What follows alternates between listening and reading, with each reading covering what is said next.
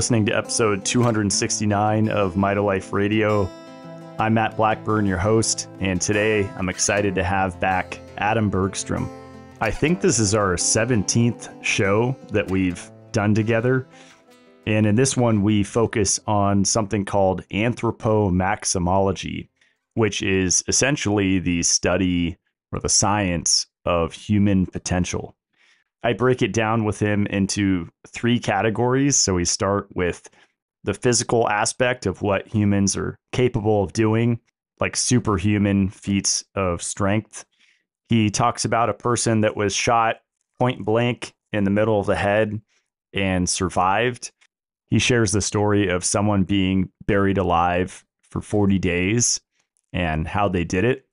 I ask him about being underwater for prolonged periods of time and he shares the story about Master Wudang Chen.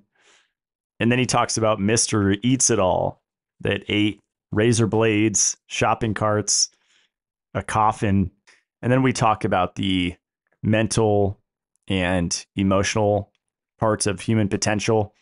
And a listener asks, What is the best way to heal from trauma? Another listener asks for a self hypnotizing technique for healing curses or trauma. And Atom shares his thoughts on that. I ask Atom if lucid dreaming or dreaming in general can help with our mental development.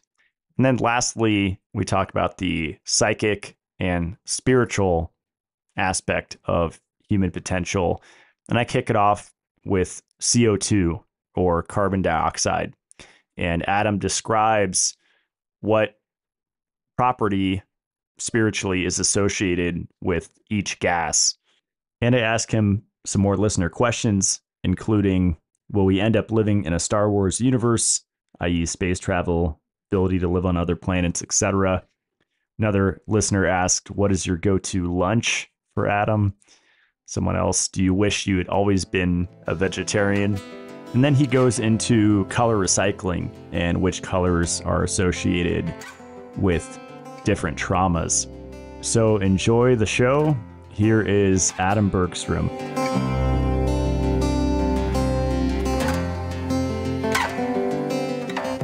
All right, Atom Bergstrom, welcome back. Greetings and salutations, Matt. yeah, this is going to be a fun one talking about anthropomaximology. Did I get that right? That's the one. Yeah. Again, I, I looked it up on the internet. It said anthromaximology is only one reference. And I thought, well, my memory muscle must be malfunctioning because uh, I remembered it as anthropomaximology. And the more I thought about it, wait a minute, they're wrong or they're partly right.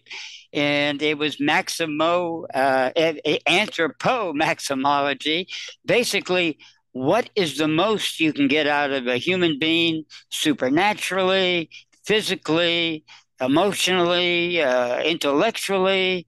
Like there was a guy on Patrick Bet David who could feel the weight of, of uh, playing cards and tell which were the face cards and which were the the queen and all of that by the weight of the card alone.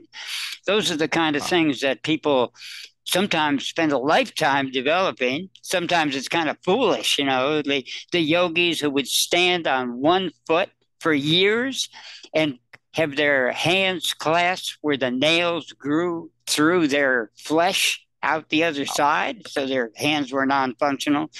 I don't know what the purpose is, but it is pretty amazing.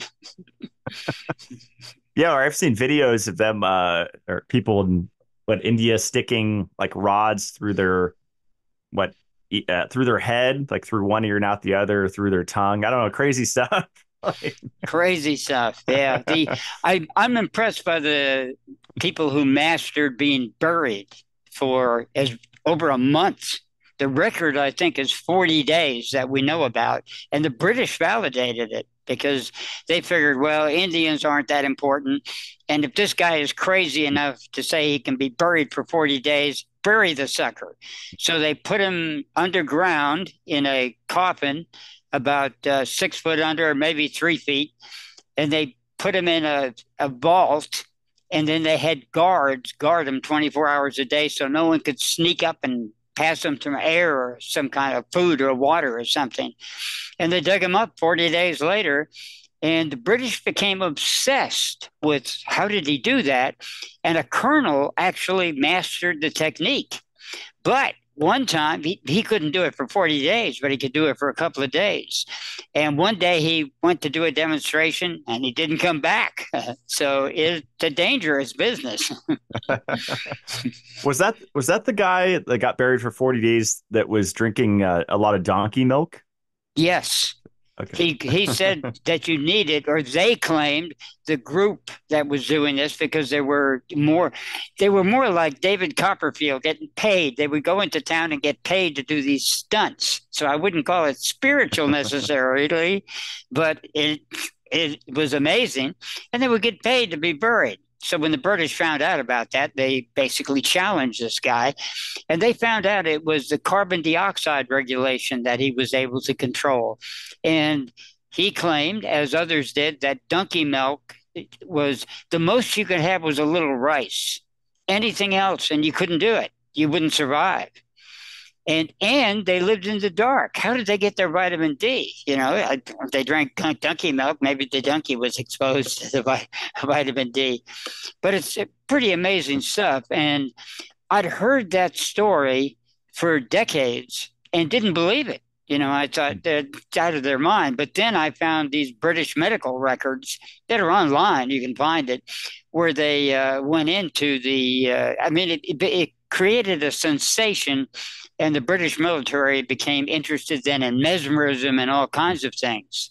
Mm. They uh, they eventually closed it down because mesmerism was too great a a competition for the medical profession who didn't like it.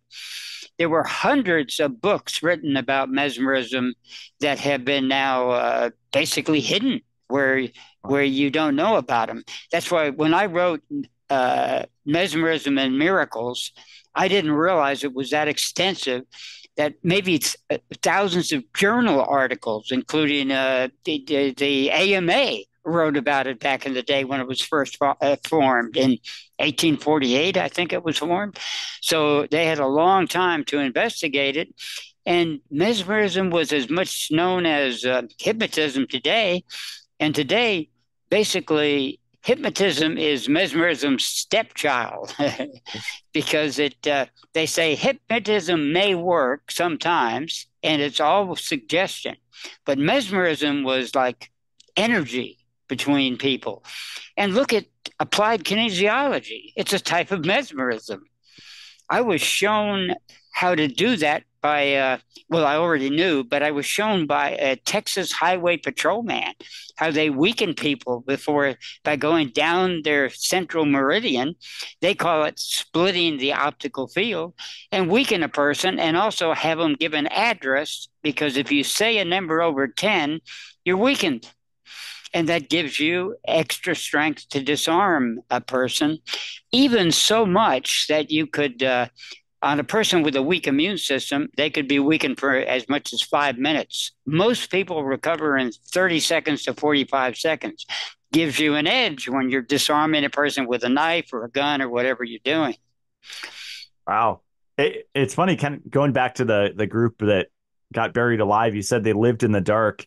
And that stood out to me because I did an April Fool's post uh, yesterday where I was saying I was going breatharian and I was going to live off the sun and kind of just poking poking fun at like the quantum health community, you know, that I I was in eight years ago and I was you know just hook line and sinker, the ice baths, the naked sunbathing, the grounding, and that was like the top most important thing for health. And I was kind of making making fun of it a little bit. And uh, when you said these people lived in the dark, it's it's interesting now because when I look on social media, like in the health world, it's just so trendy right now that we're sun worshipers and we absolutely need the sun like every day of the summer and you need to see every sunrise and sunset. But you said these people lived in the dark that did these amazing feats. So it's interesting. In the dark. And you know, there's something I learned from uh, Swami Nitty Gritty, Donald Lay, back in the day. He claimed that there were actually different species of people, including aliens, and that we were carbon based, but there were also silicon based, sulfur based, and methane based. And uh, he also said that in our interactions with these people, we actually, they ended up forming our chakras. So our first chakra was basically carbon based, our second one silicon, our third one sulfur, and our fourth one methane. And that uh, these were aliens. Now, when I researched that, there are those beings on Earth, to my amazement, only they come as bacteria. So I wondered if uh, Lay was talking about uh, uh, beings, uh, what would you call it?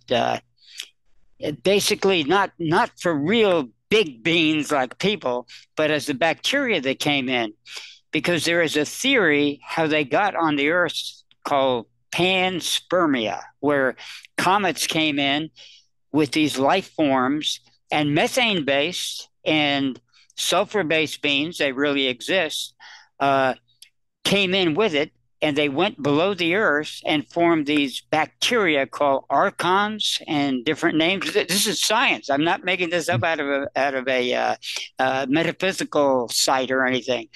And the the there's two types. They usually live in volcanic vents thousands of miles below, well, thousands of feet below the sea. And in these vents, there are sulfur based bacteria and there are methane based bacteria. And they're really not even bacteria, they're related to it called archons. And I think there's another name for the other one. Well, at the time, I asked uh, you talk about carbon based, you talk about silicon based, you talk about uh, uh, sulfur based. But when you say methane, that's not a single element. Is there a single element that goes with that? And without hesitation, he said magnesium. So as I researched years later, sure enough, the sulfur based uh, archons run on iron and uh, and sulfur, and the methane based ones run on methane and magnesium, just like he said. So it gives further credence. Plus, the Osage Indians actually said that uh, there were four types of people. And basically, they pretty much corresponded to those four beings. So I can't say that actual aliens came to this planet, but probably uh, where did those sulfur based uh, bacteria come from and the methane based bacteria? And silica is the hardest one to prove, strangely enough, even though it's the most commonly cited in science fiction movies and uh, novels. But, uh, but there is some evidence that there are these uh, creatures that form the white hills of Dover that actually are mostly silicon. And we have a lot of silica that we use in well the soil. Our plants grow in pure silica, pure, pure glass basically, and we have it in our body and it can actually form granules and hard parts in our body and it's been attributed that the hardness of the bone has a lot to do with silica. Mm. That's interesting. So it's beyond because you often hear of people with more melanin can handle more sunlight because melanin transmutes high, the high energy into heat and other wavelengths. Uh, but we're kind of going beyond if you're darker skinned or lighter skinned into these four categories. That's interesting. So maybe people that do better with less sunlight or potentially no sunlight or more, will they be the methane based beings? You know, Gener- General Electric actually uh, did research and discovered that we had basically a forced autonomic nervous system where our adrenal glands, the adrenal medulla, the little bitty center of the adrenal glands, is all in the skin. That's where the major part is. And that we have the ability to shapeshift and change color like a chameleon because the, the chloroplasts are very much related to the chameleons. So that is still in our skin. And they found out that melanin, though it does discharge heat, which can cause cancer, it protects you. But then you can get melanin in other ways for instance, how did the uh, people in the Arctic uh, be so dark when they where did they get their melanin from? And some of them were very dark. I've actually met. Uh, I kind of, I, I sort of dated her. It didn't go very well. She was a cannibal Indian from uh, from a cannibal Indian tribe in the Arctic that I met down in San Diego, of all places. Wow. Uh, anyway, uh, melanin can be produced by rubbing your body by uh, various other ways that they found out about. Now, that research disappeared. I found it in the library before they threw it out and made copies of uh, hundreds of pages of the research and how they did it. And they found out that melanin was not what protected you from sunburn. That that you could, if you gave a person cocaine, they wouldn't make melanin in the sun and they wouldn't get burned at the same time. So they did all kinds of experiments, which I've written about in some of my blogs, that t- overturn conventional uh, physiology. Now they kind of rediscovered it. I found in a medical book in 51, they found out, hmm, there's something with the adrenal glands that seemed to be related to the skin. But because there was nothing to hang it on, they uh, it just disappeared again.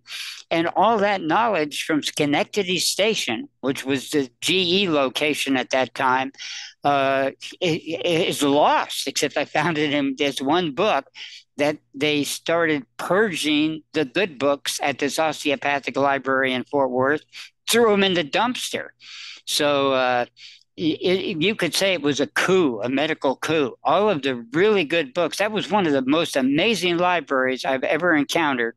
And when I went back to research there eight years later, the coup had occurred and they were dumping things in the dumpster. They wouldn't even sell the good stuff, they dumped it. So obviously, that is a conspiracy theory. well, well, let's let, let's start jumping a little bit like into the anthro anthropo. It's a anthropomaximology. you got it. Because as you said, there's like different categories, like you mentioned, mentioned intellectual, physical, and uh, and then like psychic, uh, kind of spiritual abilities. And I guess opening it up, like, do you think certain people are more gifted at certain categories versus like being gifted in all of them? Is it usually kind of like an X Men thing where they have like their own individual superpowers? What you've seen? The X Men is a good analogy. When I first saw that movie, I thought about that. In fact, that people do have different abilities. Some of them natural, and some of them don't find out about it till later. I, I'm thinking a former show I told you about the man who came up into the health food store while I was working on somebody. And then he went around and identified all of her problems. And he was a physicist whose wife did Tarot, and he thought it was all a bunch of baloney. Till down in his laboratory, he looked up at a mobile and moved it any way he wanted with his mind. And so that opened up a whole new uh, psychic self defense workshops for him. And first I thought he was full of baloney till I saw him demonstrate that. So he had physical powers. Another friend of mine, who I haven't seen for a long time, named Mary Brennan. She was a veterinarian. She's written The Complete Dog, The Complete Horse. She's a very accomplished veterinarian. Uh, showed up every year at the Kentucky Derby to do horse neck adjustments and things of that nature for sheikhs and uh, a lot of people in Hawaii and the Middle East. And uh, but when I first met her, she was a client of mine and she was taking a workshop with me. But the person who hosted me had a sick cat. So she said, Okay, give me the cat. She put the cat on her lap and she took a needle and stuck it in the cat acupuncture. And then and the cat goes, mm, I'm not having this. So she said, Excuse me, uh, I've got to talk. The cat doesn't uh, want this needle. I've got to talk to the cat. So she bends her head down, and I say, Oh, no, not one of these animal communicators, because I've met a lot of fake ones, definitely. Well, she bends down. I can't hear anything. And she says, Cat says it's okay. So she then sticks six or seven more needles in, and the cat doesn't even move. and now I'm impressed. But then she says, okay, now uh, she takes the needles out. I'm going to adjust the cat. So she starts to torque the cat, and the cat now starts getting really uh, antsy and moving around. So she said, Got to talk to the cat again. Bends down. Cat says it's okay. She takes that cat. You hear six or seven vertebrae go, and the cat doesn't even move. Now, where have you ever seen a cat where you can do a adjustment like that and the cat doesn't move? So I would count her as having some of those X powers. wow. Yeah, I forgot about animal communicators. I I think I've seen some shows on Animal Planet or something about that. And it's incredible. I mean, all sorts of animals, right? Uh, I think a lot of stories I've seen though are people that grow up like like get a like whether it's a baby crocodile or a baby bear or, or some type of like really wild animal, a tiger, a chimpanzee, and then kind of grow up with it. And the animal kind of gets used to them and attached to them. Although I think some could still flip, right? Like there's crazy chimpanzee stories of them turning on their owners. Yep. it, a lot of them I've found were fake, but uh, it exists. Uh, we have the horse whisperer up here. What's his name? Monty, whatever his name. You probably heard of him. He's famous. Uh, and he, uh, he has a ranch north of here. I think he's a bit in his 90s now, and he's still whispering to horses. He went out one time and they challenged him to get a wild horse and to horse whisper it back in one day. He did it, but he said it was so much stress, he's not doing it again. have, have, you heard of, of, people doing that to wild animals, like like bears in the woods or moose or something? Or? I have. There's legends, and of course, the uh, probably one of the original stories is uh, Saint Francis. Saint Francis would mm-hmm. talk to the animals. Oh, and uh, uh, Vibrant Gal's ex, he he communicated with animals. Yeah, they come and land on his hand. And one liked him so much it would show up in the uh, in the windows for him, and another one he was uh, because he loves animals so much he was so stricken when it would drive he'd drive his pickup truck and it would fly along beside him. And one time it went under the wheels. And uh, he was afraid to friend any birds after that. But he'd have a blue jay coming to his on his hand things like that or birds of that nature. Wow. and so it definitely exists. He's a perfect example of it. In fact, when we went and visited him on his farm, he actually uh, the cows loved him they they just caught a glimpse of him a quarter mile away. They'd come stampeding toward him because they wanted they wanted him to pet him. Yeah, it's a it's wow. a real deal. There are people that have uh, connections with animals that are just amazing. I, I've met a dog trainer. Same thing, same thing. A dog. Uh, I was the telephone man, and this dog comes running at us to bite the heck out of us, and he just bends down and says, "Nice dog." And the dog looks confused, comes up and wags his tail, and he pets it. He was a professional dog trainer when he wasn't a telephone man, and he saved my me from getting bitten. yeah, I think it was like two years ago now. It's been a while since I've seen a bear, but I was pretty close where I could see its face very clearly. It was a black bear just right next to my house. And it, it was so interesting the consciousness behind its eyes because we locked eyes for a good amount of time and i bet if i just kept staring i probably would have start here start hurting uh, you know hurt in my head basically they're communicating with me. They're really interesting but uh they are. Now that the guy who was famous for that they finally ate ate mm-hmm. him. Uh, so you have to be careful because bears are like people. They have personalities. Uh, one of the most amazing stories uh, I was camping on the other side of Yosemite with my girlfriend, and we met this couple who comes up there every year. And they said at one point they had a friend was uh, had a tent nearby, went out to go to the bathroom, bumped into a bear, and so she heard stand still. So the bear put one paw on one shoulder and a paw on the other shoulder and looked at her. And she said she had no amount of time, but it, it, but it seemed like an eternity. And then the bear took both paws off and wandered off. She said she never went to the bathroom at night after that and stayed in her tent. That's incredible. Yeah, I think uh, uh, in those situations they're probably so used to people, right? That they they have plenty of food where they're probably not voracious. You know, come to think of it, my son, uh, he has a uh, affinity with animals too, particularly mm. snakes. He has uh, he's had a, a twenty foot uh, python, eighteen foot and sixteen foot uh, uh, boa constrictors, and he lets them wrap around him. And he's so strong, he just when they get wise, he slaps them around and, and takes them off. And the ordinary person, uh, they called him when he worked for Walmart in their main warehouse in Arkansas. They called him caveman because truck drivers could come in and couldn't lift the doors with both hands, and he'd lift it with one arm. but he has a special connection with animals, loves animals. He has all kinds of animals living with him. He's up in Oregon now, and I'm not sure how many animals he has today, but uh, he's been moving around a lot. So he, I think he gave up the snakes pretty much mm. because he got too much flack in legalities, people taking them from them legally. I'm, I'm finally getting an octopus after I don't know how many, it must have been 15 years ago. I had some uh, later this week, and I'm pretty excited to interact because they're talk about personality. Yeah, they uh, they are incredibly intelligent animals, and they have that autonomic nervous system coming from the adrenal glands. They change colors and and uh, like a chameleon. Mm-hmm. That's fascinating. Well, you said uh, a little bit ago that some people discover their abilities like later in life. Um, do you think it's different for like what determines if someone has to train their ability to make it stronger versus it just being spontaneous? Do you think it's just different for everybody?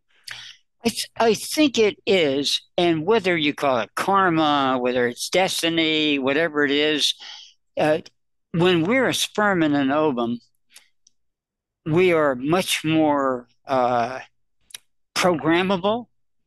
And what the parents are doing or even wishing for, this has been proven, uh, often comes about. Sometimes the people, they know it instinctively and they resent it. But genius has been produced by people willing it that they're going and they they read books to the fetus and all kinds of things uh, this has been pretty well proven that if you're in a foreign country and the fetus is listening to French, they pick up French much easier, or Spanish, or whatever uh, country you're going to be in. Uh, that's been shown. So people do come in with uh, different things. Some some people have they call it genetics, but I think it goes further than that. Uh, the Scottish Apollo, he was so strong he could stand on a chair, lift a person over his head, and juggle balls with the other hand while he's standing on one chair on the edge of it and not falling over on the chair. Now, where does that kind of thing come from? This is definitely anthromaximology. The mighty Atom was another example. He could break chains uh, and also uh, with his chest. And one time he challenged them to uh, drive at him at 80 miles an hour while he was tied to a chair in the middle of the road. And as it's coming, and said, whatever you do, do not stop. And uh, he barely made it. In fact, the, the the car hit his foot and injured his foot, but he broke loose of the chain. But it took a, a, split second more than he thought it could. He could disarm people who said, "Point the gun at me and, and pull the trigger," and he could disarm them. He was a Superman that actually held an airplane back with his hair. where where the without ripping it off. He warned another a strong man not to try that stunt. It was very dangerous. And guess what? The, the scalp was ripped off and the man died. So uh, these type of things are very dangerous. The mighty Atom is uh, one of my heroes. This this guy was a tubercular kid. He was dying, and he overheard the doctor telling his mother that he didn't have long to live. So as a kid, he snuck into the cir- the circus, and a, uh, a, one of the workmen beat him to a pulp. So a strong man called the Mighty Volanko showed up and saw this, and he said, "Who did this?" And the kid couldn't tell he could he couldn't identify him because he was like basically blind from all the uh, beating, but he could identify the voice. So Volanko beat that crap out of him and said, "You want to join the circus and travel?" And he said, uh, "Yeah."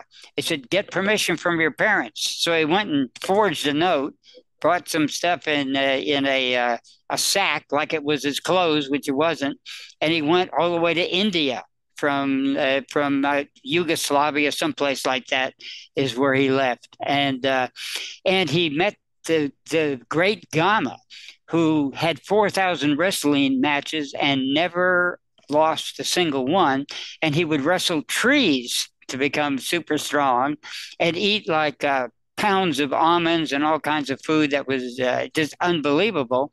So he taught him a lot of his techniques. And Volanko said, You're strong now, but you are destined to be stronger. Now, this is programming. When he came to the United States, he was strong. He, he did regular dock work and things like that, but he did some strongman demonstrations.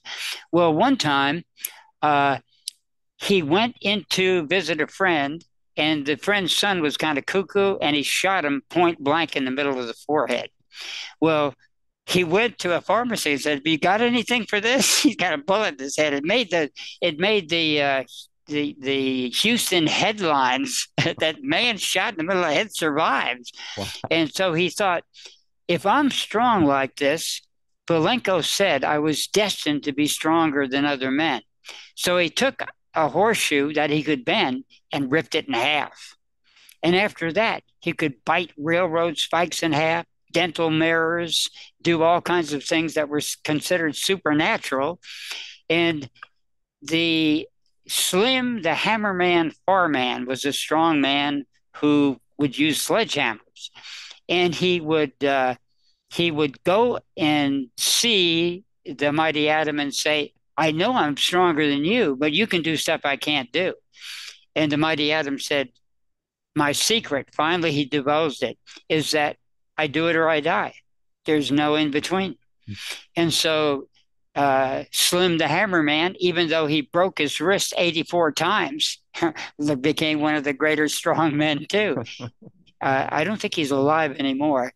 But uh, anyway, that's obviously superpowers. Uh, the, the the, he had uh, the mighty Atom had trucks roll over him with a with a block over him while he was on a bed of nails, all kinds of things. Uh, supported an entire piano player and the singers on top of the piano.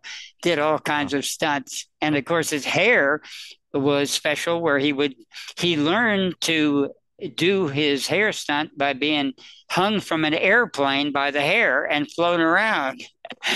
And when he went to eat uh, lunch one time, his wife said, Take off your hat. And when he did, she screamed because it had been elongated from all that stretching. but he had a super, a super strong uh, scalp, obviously. Anyway, that's another example of someone who is was remarkable. Was it mostly programming for the Mighty Atom, or was he also like training a lot? It seemed to, in his case, the programming was there. Of course, he did the physical, uh, physical things. Now he was tubercular. What Volanko made him do at three in the morning, which is interesting, lung time, tuberculosis. He would have him go out and lift a pail and and it would get heavier and heavier and heavier until finally he could lift more and more weight and his tuberculosis went away and uh, by the time he was India in India, it was gone. So he came back safe. His parents thought he was dead. By the way, he had disappeared for years. he didn't come back for a few years. Then he went into the United States, and they ended up in Houston. Wow. Have you heard stories of people uh, breathing underwater, or at the or a minimum, like holding their breath for super long time? You know, and I can't validate this, but I studied with uh, Master Wudang Chen, you know, from Wudang Mountain. And in his biography, and he told me the story too, a, a group of us, uh, when he was a child, he didn't know what you're not supposed to be able to do. So one time he dived in the water and he started chasing a fish. And the village thought he was drowned because he swam downriver for about a half a mile underwater, holding his breath for a half hour. And uh, when he came back to the village, he had to walk back a long ways. They were all grieving his death that he had drowned in the river. so he had supernatural abilities, and uh, he uh, he demonstrated some of those minor ones to me when I was lucky enough to live at a ranch that friends of my own and they needed someone to live on the property just to open the gate a mile away to let people in if there were servicemen or something like that to come. And so I lived on the ranch. Well, that's where Chen was going to do his workshops. So I just happened to be there. So he just said, join us. So I would I went to these multiple workshops that were nine day workshops, one of them for professional Tai Chi instructors. and I was I was in it. We had to do am- amazing exercises. But one of the things that I would say was supernatural that Chen showed us, he said that uh, you come up to him and hold his shoulders. And when you hold his shoulders, make your move. In other words, attack him somehow by using one of the other hands or whatever you're going to do. And uh, he did it. And everybody who tried the attack, he would put his finger out and paralyze them with just one finger. So, anyway, uh, when he did that, he could see that I was saying, God, I'd like to try that to see if that works. And he said, Atom, come over here. So sure enough, twice. And just before I pushed, he touched me and I couldn't move, couldn't move. And then I did it, tried another way, and he pushed me in a different place and stopped me. Now, how do you know an exact point to stop that? And this is a man, by the way, who said a, a competent acupuncturist only needs one point because the flow of chi is like a river and you just need to dam it at one place. If you stick the needles in after the water's broken the dam, what good does that do? That's why when people use all these needles, he said if if if I, it was up to me to licensing acupuncturists, if they needed more than three needles, I wouldn't license them. and that's kind of a shock to a lot of acupuncturists who use multiple needles, some of them up to 20 or 30. that's funny. I'm trying to remember the the technique uh, when I took Aikido, I think my sensei was telling us to visualize. It was like a root visualization, like connecting to the earth, um, like a tree, and just like focusing our energy downward, and then having someone push us before and after. And after it was a lot harder to push. Is that is are there some exercises like that that people could do at home to show how powerful the mind is to change change the physical laws and yeah, you know, back in the 70s, that stuff was popular. You put out your arm, the unbendable arm, but instead of trying to use strength, you focus it on the horizon as far as far away as you could get. But then it was definitely harder to push down the arm. And the four people picking up you, a person sitting in a chair with two fingers, you know, those type of techniques. And there were people that you couldn't push their arm down. So, uh, uh, I've seen examples of that when Chen was showing us how to generate chi. One thing he did is uh, the owners of the ranch bought him zazen pillows. He figured we're going to sit that, but he had nothing to do with pillows. But he decided he's going to show us how to generate chi. So we had to take these pillows and throw them at each other, two people back and forth as hard as we could. And one time I was tired. And by the way, Chen said, when you're tired, you're more apt to generate chi. So he wanted us not falling asleep, but not awake in that in between subliminal state. Well, one time I threw the pillow and the guy was knocked back by it. He said, How did you do that? And I realized, wow, I generated chi. But as many times as I tried, as Yoda, Yoda said, do not try, do, I couldn't do it again. But it was an amazing feeling of just letting the pillow go and it knocked this guy back about two feet. Wow. the Zazen pillow. and also, then Chen had us throw those pillows again at the horizon. As far as you can, mm. throw it into the horizon, throw it in the horizon. He claimed he could knock a person with one punch 40 feet away, but he would kill him. But his master showed him could have the person land alive 40 feet away, but he never had generated that technique. Wow. But Bruce Lee was was into uh, some of those techniques, right? He was definitely into supernatural techniques, and come to think of it, uh, in uh, anthropomaximology, I met a guy named Jack. Uh, Jack was a super martial artist, and he learned to move faster than the eye could track.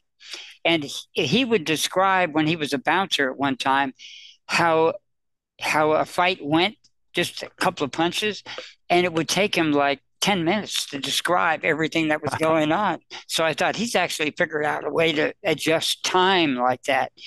And absolutely amazing. Uh, his students were the brown belts were better than most black belts. And one time a guy came to challenge him and he said, I understand you have the best kick, uh, roundhouse kick of anybody, and I'm here to challenge you. And he said, Look, I don't have time for this. I don't do this kind of thing. So the guy took a swing at him in the classroom, and Jack knocked him out. He dragged him out on the sidewalk and said, Expect the unexpected. that was one of his mottos. But he was an amazing guy. Now, one time he went to pick up his wife at uh, who worked in a hotel that his friend owned in Beaumont, Texas. When he went down there, he met a security guard, and the security guard said, "Do you believe in uh, psychic powers?" And uh, Jack kind of figured the skinny uh, security guard, you know, he was talking down to him. He told me I was actually just thinking, well, I'll, I'll humor him. And uh, then suddenly the security guard reached out and said, Have you ever heard of people controlling other people's energy? And put his hand on his stomach and paralyzed him. Oh. And he said, after he was done, he had a burn mark on his abdomen and a burn mark in his back. Oh. And so, so uh, this is when I was telling him about kinesiology. He told me this story. So he went back the next day where is that security guard? Uh, he said he was just here for one day and he left. so he never knew who that was. But Jack had yeah, had definitely powers that most people don't have. He was a he was also a writer and put himself through Gurdjieffian tasks, like uh, like he would be a roofer and work for seven days without sleep to push his body. So I would say definitely he was into anthropomaximology. what could a person possibly do that you thought you couldn't do? Wow, that's pretty cool. Um, I think one of mine over the years has been like fat fast reflexes, which I don't know if is that more of a nervous system thing or kind of mixed with anthropomo maximology anthropo oh, i'm going to practice saying that word what are your thoughts on like re, re, yeah reflex time and stuff yeah i think time? i think we we are born with some of that but that can be increased uh, jack mm-hmm. definitely did he practiced uh, doing it uh, quickly by the way when he was in the navy he uh, he's he went to a korean master and the Korean master said, uh, I don't take uh, any other students but Koreans. So he said, Can I show you something? And the master said, Sure. So, you know, the heavy bag, uh, when you hit the heavy bag, he hit it and knocked it way up to the ceiling with his bottom leg not the top one. And the master said, You're accepted. so he learned a whole bunch of techniques other people didn't. He was uh, he was a remarkable man and practiced having reflexes faster than the eye could track. And he probably did develop it. Wow. Wait, you said bottom leg? What do you mean? Your bottom leg. Yeah, you know the one you usually hit with the top leg, not with the bottom leg. How can you get torque out of that? and by the way, several of my friends, Greg Whiteley, who is extraordinary himself, uh, he's the one that has all the property up uh, in in your neck of the woods, uh, and uh, Harlan McGee And my friend Jimmy Gerard, who's extraordinary, Jimmy Gerard studied with him, never could beat beat Jack, even though he could take eight blocks and break them with his hand, no spacers. you know, wow. they usually use spacers so the break can give way. He could go through eight of them like that, and he still couldn't beat Jack because he thought, I can do this. I'm going to beat Jack. Jack beat him every time. He couldn't. So he studied with Jack after that when he realized that Jack knew wow. a lot more than he did. These these people all came out of Port Arthur, Texas, uh, which is a remarkable place itself, and has a history of having elves and all kinds of weird psychic woo woo stuff there. When I was there, I certainly met my share of woo woo people too. Um, I, I, usually save the questions for last, but I'm thinking on each as we go down from physical, mental to the psychic. Maybe I could ask throughout. Um, one of the listeners asked a good question on the physical topic. Does Atom think, given the right circumstances, people can regrow limbs, teeth, etc.? You know, I, I think it's really rare, but I think it's been done. Uh, Ray Peat went into fingers being regrown by putting a, a pencil over it, connecting it where it will grow back together. And so I think, I, I think there are people. Okay, I'm going to tell you the weirdest story, and I don't know whether to believe it. I spent uh, about a month in Sedona one time, and it was the weirdest month I ever heard. I've met all kinds of people. I could I could do a whole show on that one visit. But at one point, I met a doctor, a medical doctor, who claimed he had a guru who could take his arms off and put him back on again and his legs too. That he saw him once, uh, once in India when he was went to India and he was sitting there with no legs and no arms, and it was his guru. But then he saw him later with his arms and legs on. So I don't know about these stories. They're prevalent. You find them all over. And this guy was a perfectly believable guy. And I met him under such unusual circumstances anyway, with uh, two psychic means. Uh, we uh, kind of met by destiny uh, without explaining it. So I think there are people in India who can do it. Like the man who uh, they were burning someone, a young person at a funeral, and an old man ran down and jumped into the fire, and then the, the, and then the young body ran out, but the old man had had had the body of the of the burned person. You know who knows? And there's lots of stories in Yogananda about these type of miracles where people uh, uh, uh were resurrected from the dead and uh, in fact, many cases after three days, a, per- a person would come back from the dead. Uh, may- maybe Meher Baba, I forget the different stories there are, but but so there are extraordinary things that, of course, the speed of science says that can't be true. You know, this is all false. Uh, the amazing Randi and all those people say that's nonsense. Uh, mm-hmm. I actually got Nichols, what was his name? Something like Nichols kicked off a radio station because uh, I told them, I I applaud you uh, exposing the fakes, but don't throw the ba- baby out of the bathwater. So he started yelling at me that you know there's no such thing as psychic things and anything. He said I've seen them, and so the moderator said warned him, and then finally he said I warned you, uh, you're off the show. Don't let the doorknob hit you where the bulldog bit you, is what he said. um, this is a good segue into the mental uh, subject, kind of kind of mixed with physical. Someone asks, "Can sleep become optional?" Yeah, you know, can, can what become optional? Uh, sleeping. Yes, you can like give up we, sleeping. Like yeah. uh, like that's that's one thing that both I know two people who gave up sleep. Uh, Swami Nitty Gritty, of course, who didn't sleep, but he would snore, but he was aware. You couldn't sneak up on him. The other person was David Neal. Uh, I traveled with David Neal for over a month, and he only lay down for 10 minutes one time to stretch his back. Now, I when I it was my turn to drive, we drove cross country all the way from Carpinteria, California to San Diego, and then all the way to the East Coast in Orangeburg, uh, South Carolina, and back again and around. And uh, during that time, he he sat up the entire time, demonstrated psychic abilities, by the way, and uh, And when we would drive, like he would sit and meditate, but I would say, David, and he would right away be yes. I said, Do I go left or right here? He said, Left. Okay. And he'd go back and meditate. So he meditated a lot. But when he was at home, he worked two jobs and, uh, and then did all this other agricultural work on his own property at the same time. So he didn't he didn't sleep there. He would just kind of rest for 10 or 15 mi- minutes in the truck and then drive on. So he had mastered it, which when Adano could do it, I thought, well, it's supernatural. He somehow has these powers. But when you take an ordinary person and make them able to do that, that was impressive to me that maybe I could do it.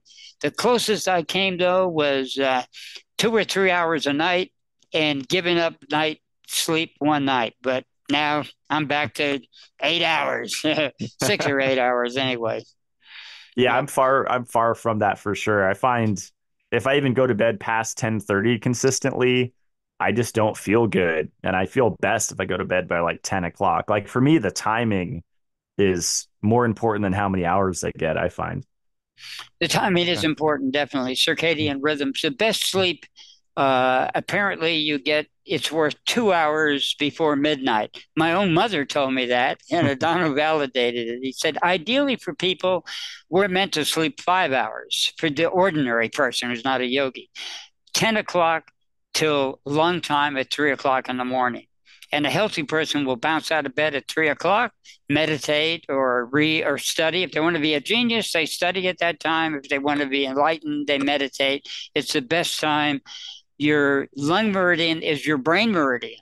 So that's what makes the there's no in the 12 meridians there's no brain meridian so they do have two master meridians that are called the brain governor and conception meridian that have to do with that. But your brain is controlled by the gallbladder and mostly the lung. You uh, turn off your lungs you turn off your brain your brain dead The gallbladder and the lungs. Interesting. Yeah. Okay. And by wow. the way, the bladder is what controls your uh, intellect because the bladder, that's why smokers, cigarette smokers, long term cigarette smokers will get bladder cancer. Well, how do they do that? the bladder is an auxiliary lung, and our lungs are basically a swim bladder, like in a submarine or in a fish that got got specialized into alveoli.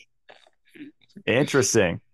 Well, good thing I cheek smokes my cigars. Now I'm always I'm always trying to mitigate because I, I love my nicotine and tobacco, and I uh, I know you uh, quoted Warren Buffett before we started recording. It's it's amazing looking at these longevity stories and smoking, drinking. I mean, all of the above, right? it's yeah. like just. Oh, another they, exceptional they story is Mr. Eats All. Yeah. He ate a Cessna. It took him two years. He ate bicycles. He ate co- a coffin. He ate shopping carts. He ate razor blades on a regular, ongoing basis. He ate a TV set. He ate. Uh, you, get, you almost can't make chain, like 200 feet of chain. He ate. Ate all this stuff. He he only lived till 57 or so, and supposedly he died of a knife wound. Now, but they never specified was the knife inside or outside of his body. Was he stabbed in New York City or? oh, he was French. That's right. I like that when people, because people, you'll, you'll post things on Facebook and then people like want to debate you. And it's funny because you'll off like on dietary stuff and you'll often reference Mr. Eats All. It's really funny because they usually stop replying after that. They're just Especially like, I don't know where. When, when omnivores, did you hear of Tarrare, if I'm pronouncing his name right? Mm-mm. He, as a teenager or even younger adolescent, he could eat one third of a cow.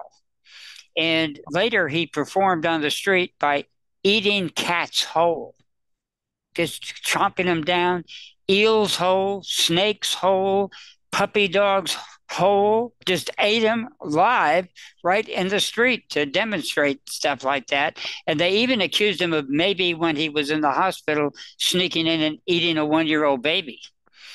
So he didn't live very long at all, though. I think I I don't know if he even made it to thirty. But how could he do that? How could can you imagine eating a live cat? it's like a human snake. and snakes, yeah, and eels, and what else? Did eels were his favorite? He loved eels. Wow. Raw eels, live eels. Live octopus? Did you do that? yeah, yeah. I don't. I don't know if he ate octopus or That's not. the freakiest videos I've seen. People in like Japan or something eating live. That's that is super creepy to me. you know, uh, when you mention that, I have a friend that's uh, Japanese, actually several of them, and the father knew how to do things that other people didn't do, know. He would catch octopuses by sweeping them up and biting their biting their head off or something like that to kill them, because that's the only way you could kill him. And also, he mastered a way of opening macadamia nut, uh, uh, nuts in Kauai, and he would not even tell his children how he did it but he didn't need any machinery. And you know they're very hard nut to uh, to open. He could open them with his hands somehow, or his teeth, whatever he was doing. He had a secret technique that he wouldn't tell my friend uh, Elliot. That's incredible. yeah, I met him once. He was a, a, very unusual man. He's on cosmic vacation now. Uh, I know that they, I've known the family for years. They've been two of them have been followers of Adano for years. Well, let's move on to the mental. One of the questions was, uh, have you bent uh, bent any spoons lately? I think the other day it was the anniversary of The Matrix. I think that was like what 1999 when that movie came out. Right, right. that was, uh, you know, the uh, the mental thing. Uh, we can all develop that, and I'll tell you a story. Uh, you probably heard of brain gym and some of these techniques that mm-hmm. actually increase your brain. They actually work. Well, I met a a friend of mine was an optometrist, and he ended up hosting experts and eyes when he lived in Colorado. And because of that, he could learn anything he wanted. So finally, ophthalmologists and eye surgeons told him that you know more than than the surgeons do. How do you learn all this? But he learned a technique called behavioral optometry. He was one of the pioneers in it, and it's when you do, you do a test to see how a person tracks with their eyes. Anybody can do this. You have a friend just move your your hand, and you should be able to smoothly. Your eyes should go back and forth without any any jump or glitch, and you you shouldn't be turning your neck. Many people they cannot not turn their neck because they can't make that transition without it. Well, a friend of mine had a daughter that was getting D's and was about to flunk out of school when she was in, I'm guessing, the uh, eighth or ninth grade. And so I did that test, and she had a real jump. Now, I knew about uh, Brain Gym I think it was called Edu-K back then. And uh, but I she had she lived in Hollywood. She had money, so I said, "You got the money. If I were you, I would find a behavioral optometrist and give her eye training, and that's going to increase her scholastic abilities." So my friend did, and by the end of it, she became a straight A student and I got to see the behavioral optometrist at work because they invited me to see sessions of it. It's quite complicated things involving red and green lenses, learning to make a, per, a, single person double, making double person single, and doing all these kind of skills, and they, it, that can be learned.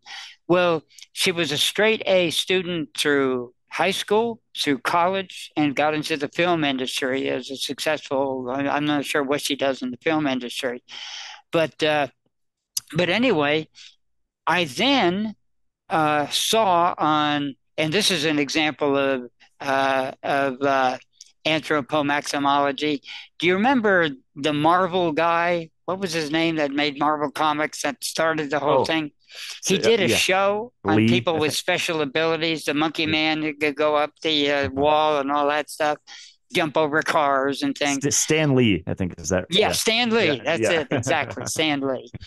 Uh, one person they did was a person who could take the square root of mm-hmm. anything, you know, and come up with the answer better than the computer could.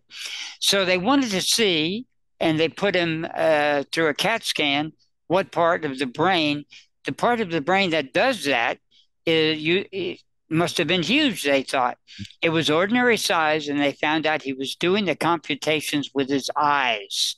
And I realized, wow, that's what happened.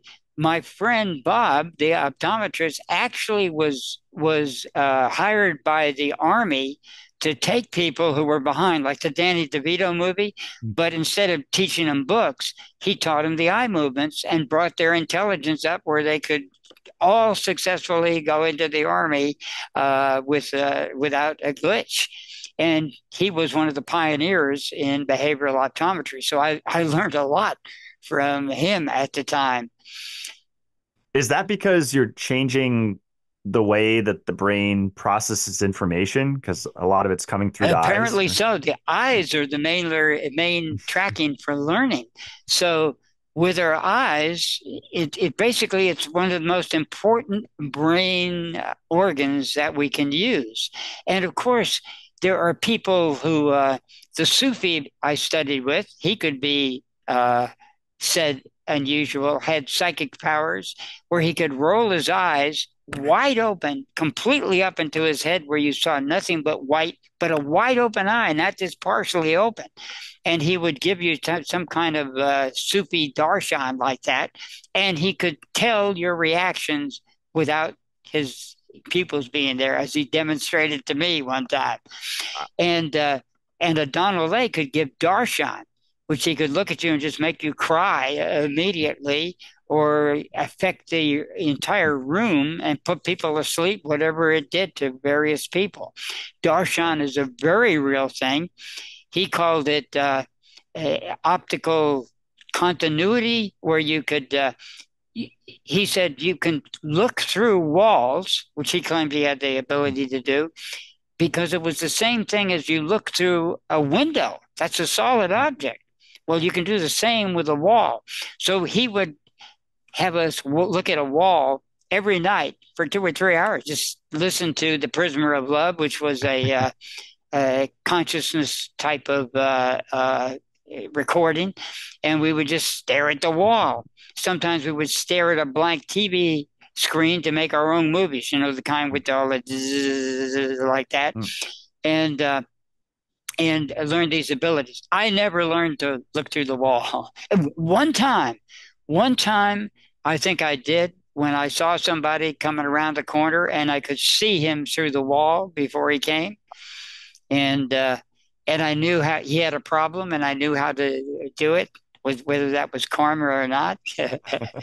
so what is Darshan because I when I was living in Southern California, I was going to a ton of events that were like supernatural and just fun things. And one of them was a, a guy on stage, you know, looking at people and basically healing with his eyes.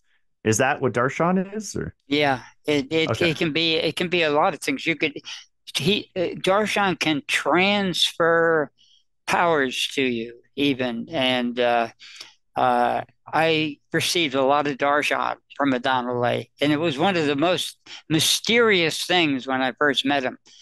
I thought, well, what is he doing with his eyes? He just looks at me. He would start that and he would start to look at us slowly around the room. And suddenly I would just start crying. And sometimes I would cry for an hour and, and couldn't stop. And uh, I just marveled at whatever that was. I met some other gurus that could do it too. One came into the room and I started crying before I saw him. And then I turned around on a hunch and there he was staring at me at the back of my head. That was Thakar Singh, who was a, uh, a Sant Mat type of uh, guru. I don't know much about his ability, but I had some strange connections with him uh, of that nature. And uh, I never really got darshan from Satchidananda, in, well, indirectly, you could you could feel the presence of the man. And Adnan had his own, I don't know what you would call that, with the eyeballs rolled up in his head, but uh, they had uh, definitely energy.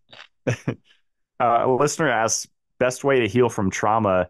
I know in all our previous shows, you've talked about it quite a bit, and there's a big mental component, right? Huge. What's that? That I would say that's the ba- basic. When people talk about emotional trauma, there's no such thing. Well, rarely. I would give you maybe a couple of percentages. But it's a cognitive trigger event that sets it off. Because uh, if emotions were the problem, why would people hang themselves from hooks whether you're an indians or an la nightclub where you get pay you get uh, you pay to be hung up on meat hooks because people like it. And one guy went across a canyon on a conveyor belt with hooks all in them. And of course, they put hooks all in there. You know, what is that about? They're enjoying it. So, how do you uh, torture a masochist? Take their pain away. you know, so obviously the emotions work fine. It's the, uh, and they're all deep in the brain but it's the cognitive part of our brain, the gray matter that makes war and traumas and makes us judge something because some people like pain. So it, it obviously is a value judgment. So, one thing, uh, of course, I teach mind hacking where anybody can find out exactly what the shock is. And when you know what it is, sometimes the very knowing in a small percentage of instances will free the person and make them well immediately. Mostly, it brings to light something they need to do to free themselves and what it takes. And sometimes it takes a long time. Sometimes it's living your word. I'm going to move to Hawaii. I never did. Move to Hawaii and you're solved. You, all of this tapping of the brain, that's just uh, band aid. You know, it mm-hmm. makes you feel better, but it does not get rid of the trauma, as anybody who does mind hacking will see. Now, for a person that can't mind hack, and and I don't know why they don't because it's so easy to learn. uh, you yawn and stretch, and automatically, when we say we're under pressure, we're under 14.7 pounds of pressure at sea level. You're at a different a different level, a little lighter pressure. But all of those pressures make disease similar. If you want to study disease, study scuba diving, which you have. All those pressurizations about breaking your uh, your uh, lungs. Hmm. Do you know that birds and bats die not from hitting those wind turbines? They die from the pressure being sucked out of their lungs when they approach the spinning blade. Wow. And suddenly their lungs explode just like a scuba diving. So breathing, the, the degree of one degree, people who have the ability to read barometric pressure can actually use that for intelligence, for different versions to tell if a storm is coming, to tell if an earthquake is coming, even, and all kinds of abilities off the simple pressure that is felt in the environment. We feel good with uh, positive ionization, negative ionization, but we forget about the pressurization, which is also how ESP and paranormal abilities work by pressure. Just like how does electricity work? Do you push one ball in in Los Angeles and then another ball falls out at the end? They really don't know. Well, it's the same with psychic abilities. Do you push here and you get it over there? I know Swami Nitty Gritty told me it has something to do with uh, carbon dioxide. That is the printer, just like the lead carbon in your pencil writes, and the silica you can also write with, like in computers. But eventually they will go to carbon computers because they're more uh, appropriate for human beings and faster. wow. Yeah, the yawning and stretching is one of the coolest things I've learned from you because I definitely noticed the difference. And um, I mean, I've I remember yawning in like gym class years ago then when you were talking about it, it kind of made sense because school for me was very traumatic i think for a lot of people it was i get a recent post you were saying that you used to spend what was it like 20 minutes every hour was it inverted is that what you're right. saying? Is, is that... well, you don't really have to, but uh, I did it at one time to experiment because uh, when I bought an inversion machine for a thousand dollars, from Swami Nitty Gritty on credit because I didn't have that much money at the time.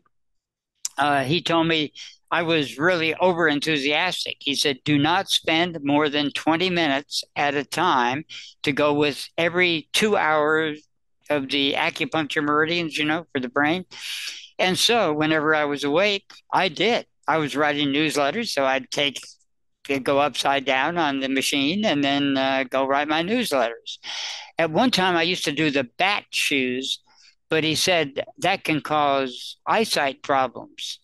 And one time in a martial arts movie, uh, the guy was going to attack a building, this martial artist, and he wrapped his ankles.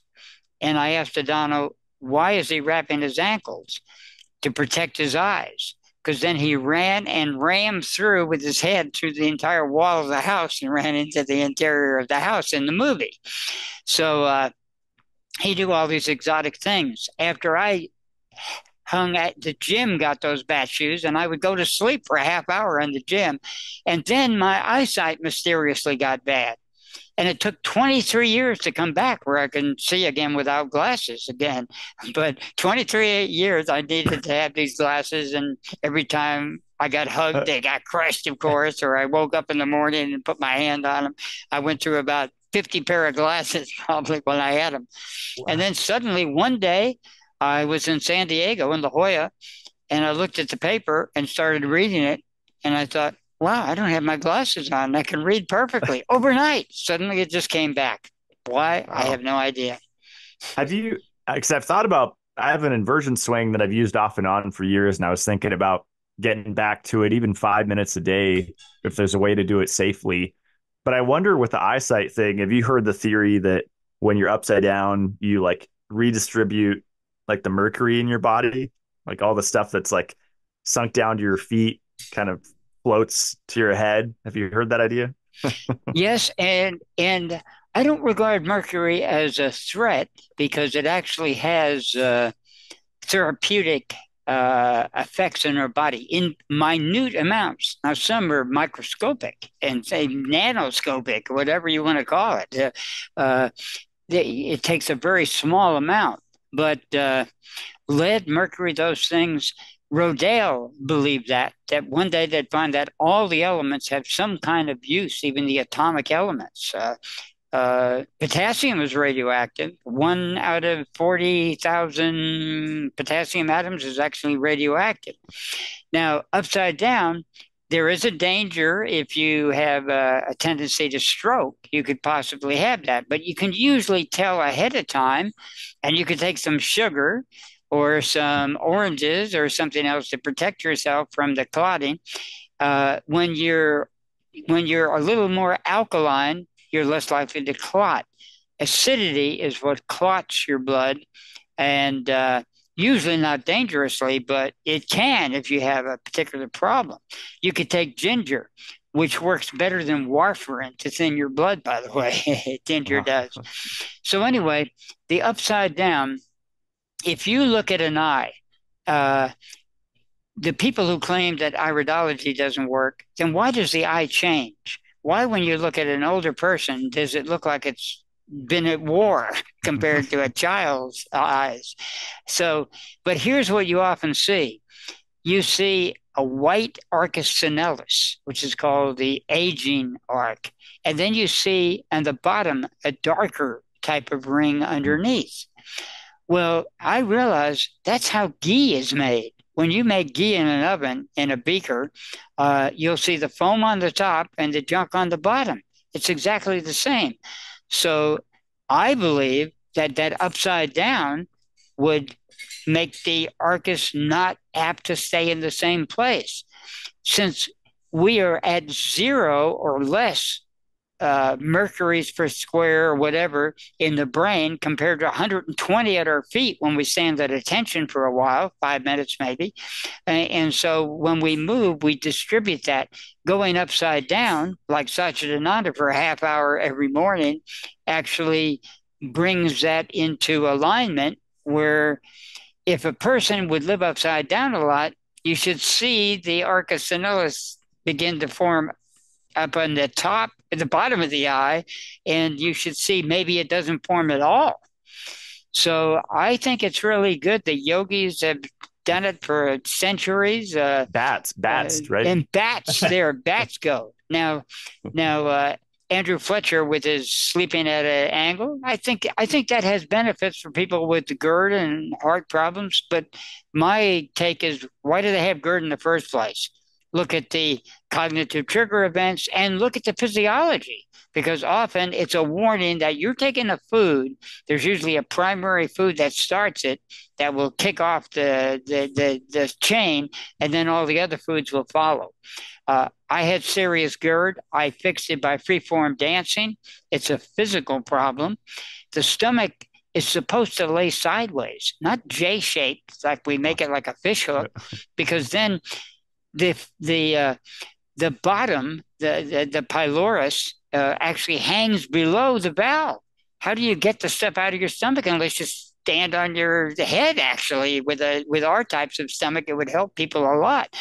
Uh, some people's stomach is so pendulous it hangs down to their crotch. and uh, and then how's the stuff going to get out unless you go sideways or upside down or whatever?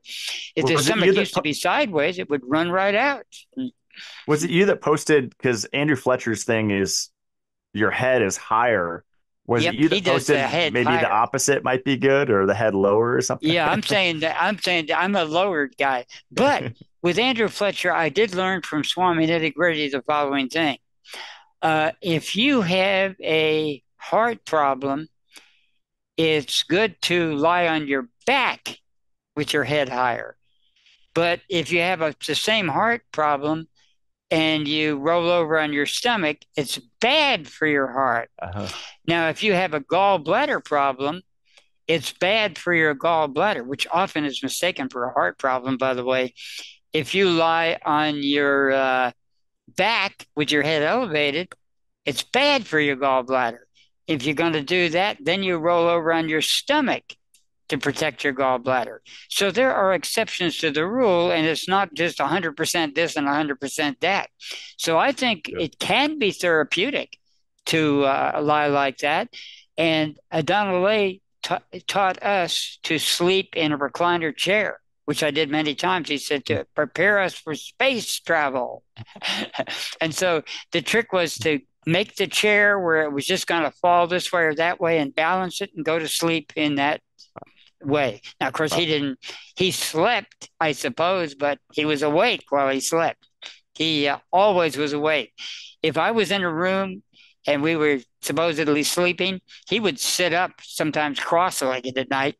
And uh, every time I would wake up and peek at him, suddenly he'd open his eyes and peek back at me. so he knew when I was looking at him, even. yeah, I, uh, I, he didn't sleep. He That's didn't sleep. And, but he would make this huge uh, amount of snoring so loud that people would get really offended at it deliberately. Just to i would say he doesn't sleep. Off he would go. That's funny you say that last night. I think i'm an intermittent snorer not all night but uh, occasionally. And supposedly the story is that that's cutting off uh, oxygen to your brain when you're when you're mouth breathing. That's what i hear I don't know. Last night I used a, a new little nasal dilator thing that I'm trying, where it's basically you apply like a magnet on each side uh, with tape. So there's like one magnet, and then you put a brace on, and I guess the brace with the magnets kind of just gently pulls it open. And I felt better this morning. So who knows?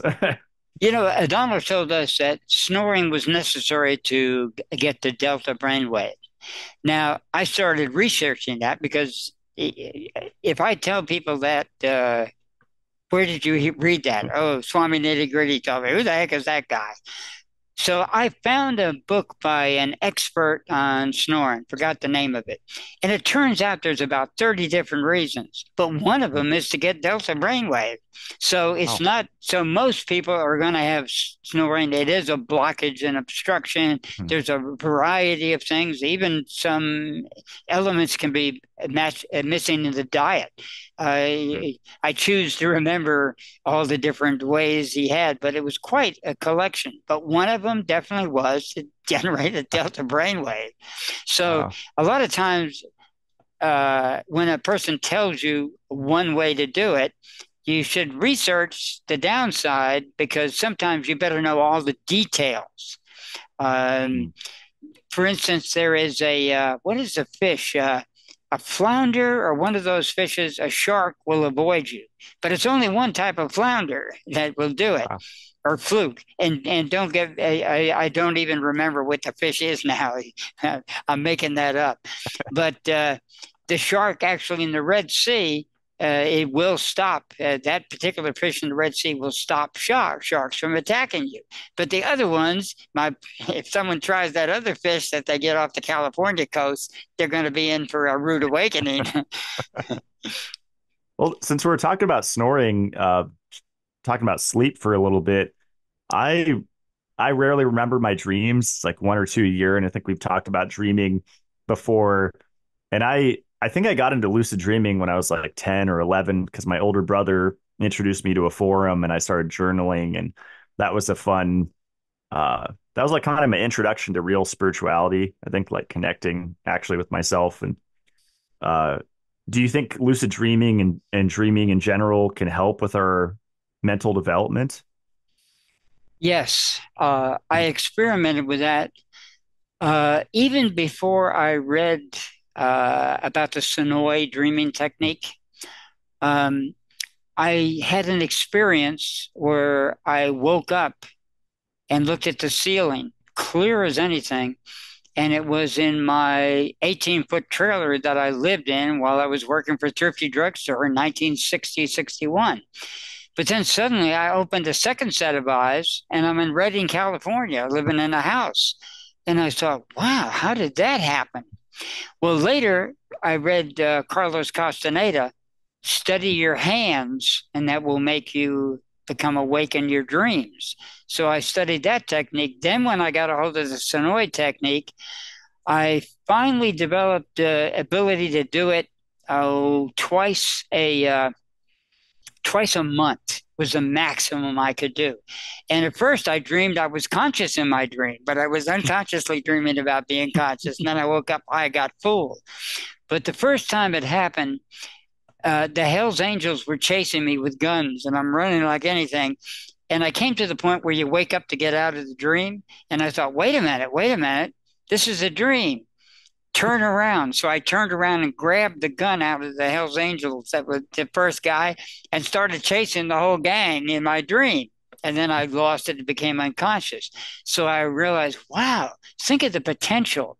Gurdjieff said if one thing could be different, everything could be different. So I became a fanatic about it.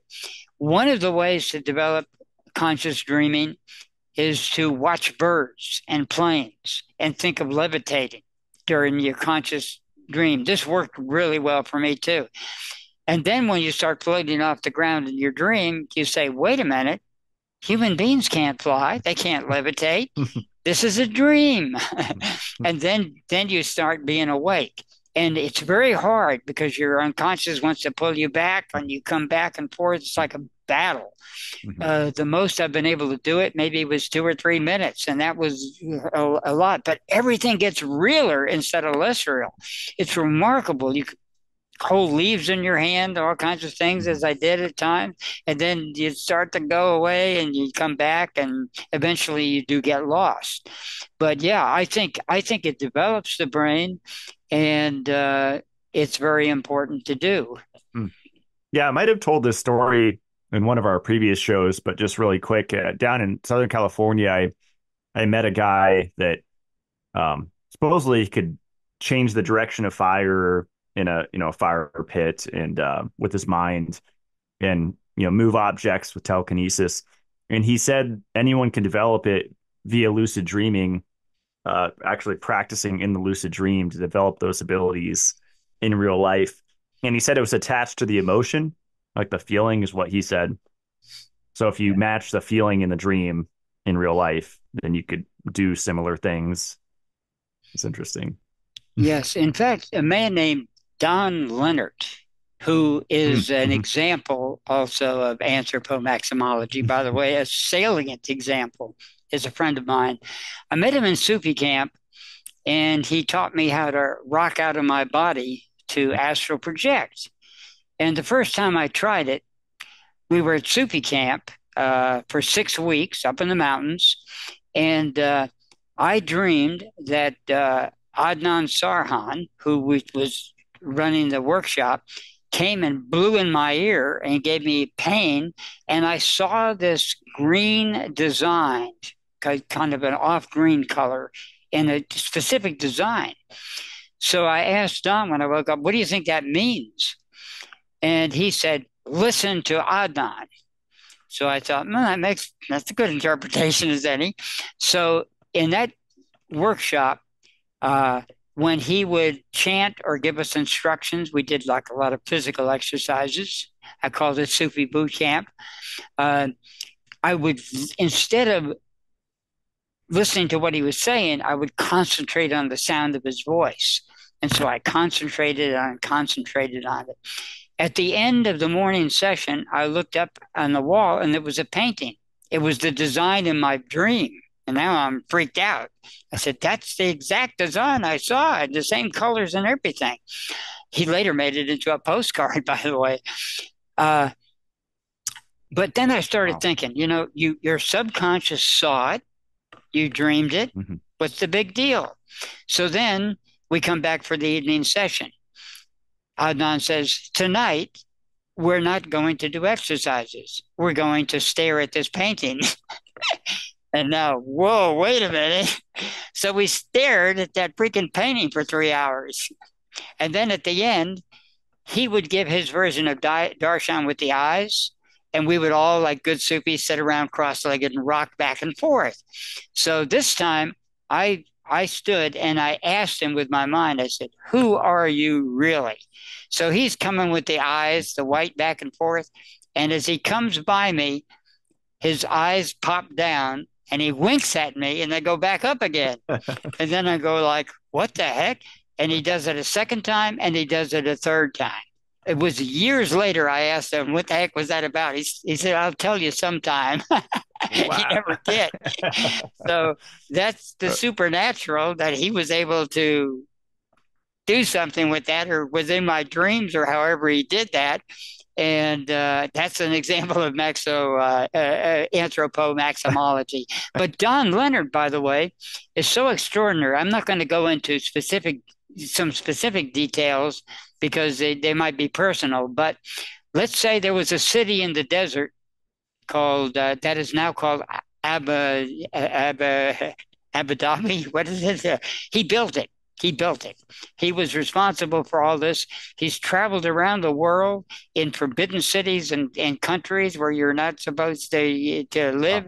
He started a yoga school in uh, in Colorado where uh, in, in Colorado Springs, where they said no one's going to go to a yoga school. It was the largest yoga school west of the Mississippi. Uh, he said, I make a mountain of Shakti and I get whatever I want. He said, It's so easy, you have no idea. And so his, uh, he always had made enough money so that he could take his trips. He liked to go to Prague and like to Costa Rica twice a year, but not enough to be uh, in the radar. He just made enough to do what he did. Had numerous girlfriends, uh, had just about dream life, and he kept telling me, you know, why don't you do this? It's so easy to make a mountain of Shakti.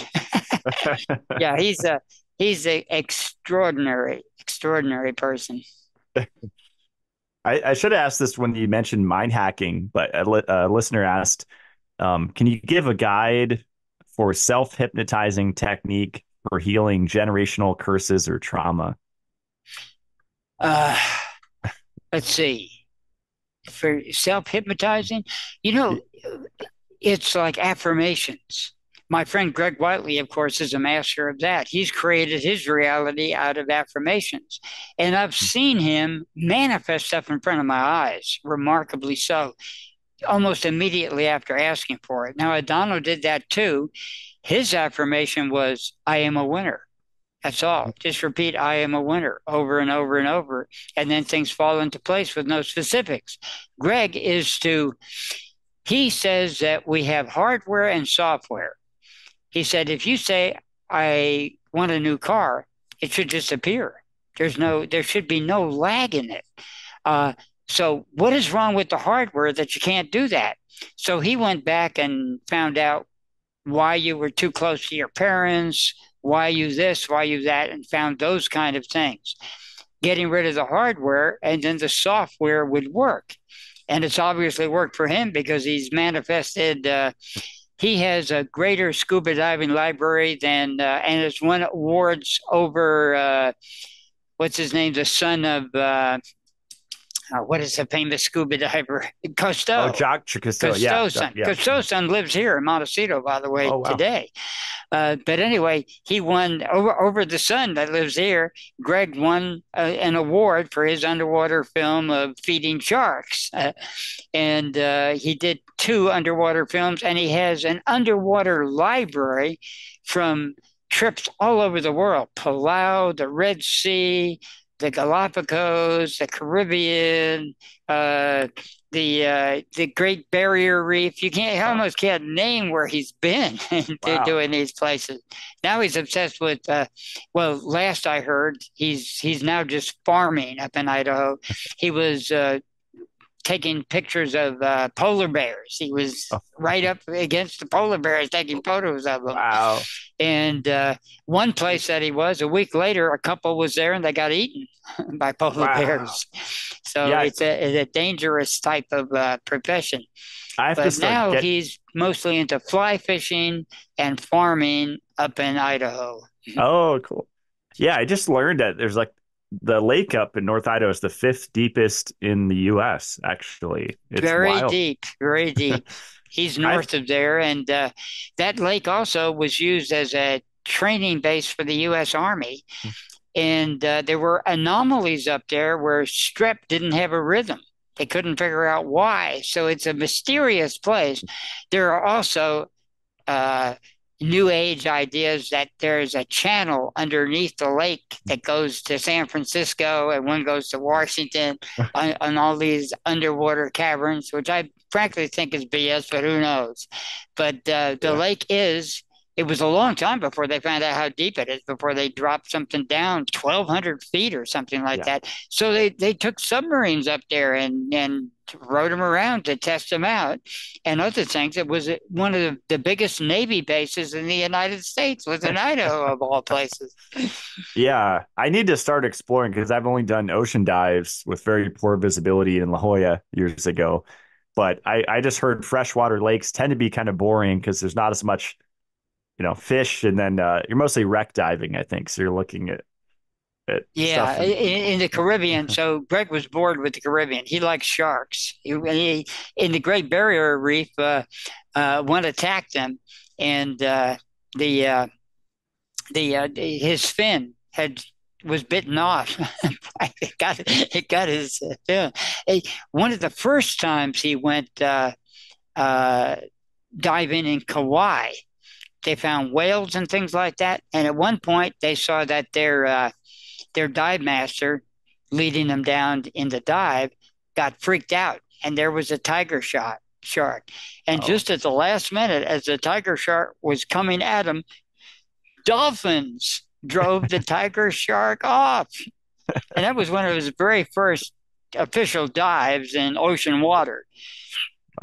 You know what freaks me out more than sharks? Uh, for me, is the um, the squid, uh, Humboldt squid in the Sea of Cortez. I think on like the red demons. Look that up. Like they'll pull down divers just like Yikes. hundreds of feet super quick and pop their ears. And uh, they're probably just tired of being pulled up, you know, in boats. Yeah, there's a lot of dangers under there for uh, there's certain types of eels and stuff that are moray moray eels and things like that are very dangerous. Uh, I I uh, I never did learn to scuba dive. Though I went down once. I was the only uh, because I wasn't accredited. I was the only snorkeler in the bunch. But at one point, I was down about 30 feet, and Greg said, "You know, uh, it's easier to scuba dive than come down 30 feet here." yeah. I I ordered on one of those Kickstarter things. It's like uh I think it's been out for a while, but it's like Snuba or something. It's like a a balloon that floats at the surface with a long tube. Where if you're going shallow, you don't need a tank and all this heavy stuff, just fins essentially, you know. Um let's see, where can we take this now for the next uh someone asked uh are there older or ancient books that you know of that are about unlocking human potential? A lot of them. Uh, I wrote a book called Mesmerism and Miracles, which basically is collecting old uh, uh, old things from books, hmm. and uh, I think it can be a dangerous thing being mesmerized or hypnotized by another person. I don't really recommend it. And the Donald Lay said, "You're connected. It's closer than sex." Milton Erickson, the expert in uh, who's often cited in hypnotism, actually said that once you connect with a person, you're connected for life. That's actually in the book. That was wow. even more extreme than Donald Lay said. So I have been hypnotized a couple times, and I wanted to explore explore past lives, and he wouldn't do it. He, he did a Freudian yeah. thing. My TM mantra came in. My transcendental meditation mantra came in when it was when I was hypnotized, and I think it protected me from something. I don't know. That wow. might be a figment of my imagination, but it was interesting that I, that happened. And uh, so, but sometimes mesmerism has happened spontaneously.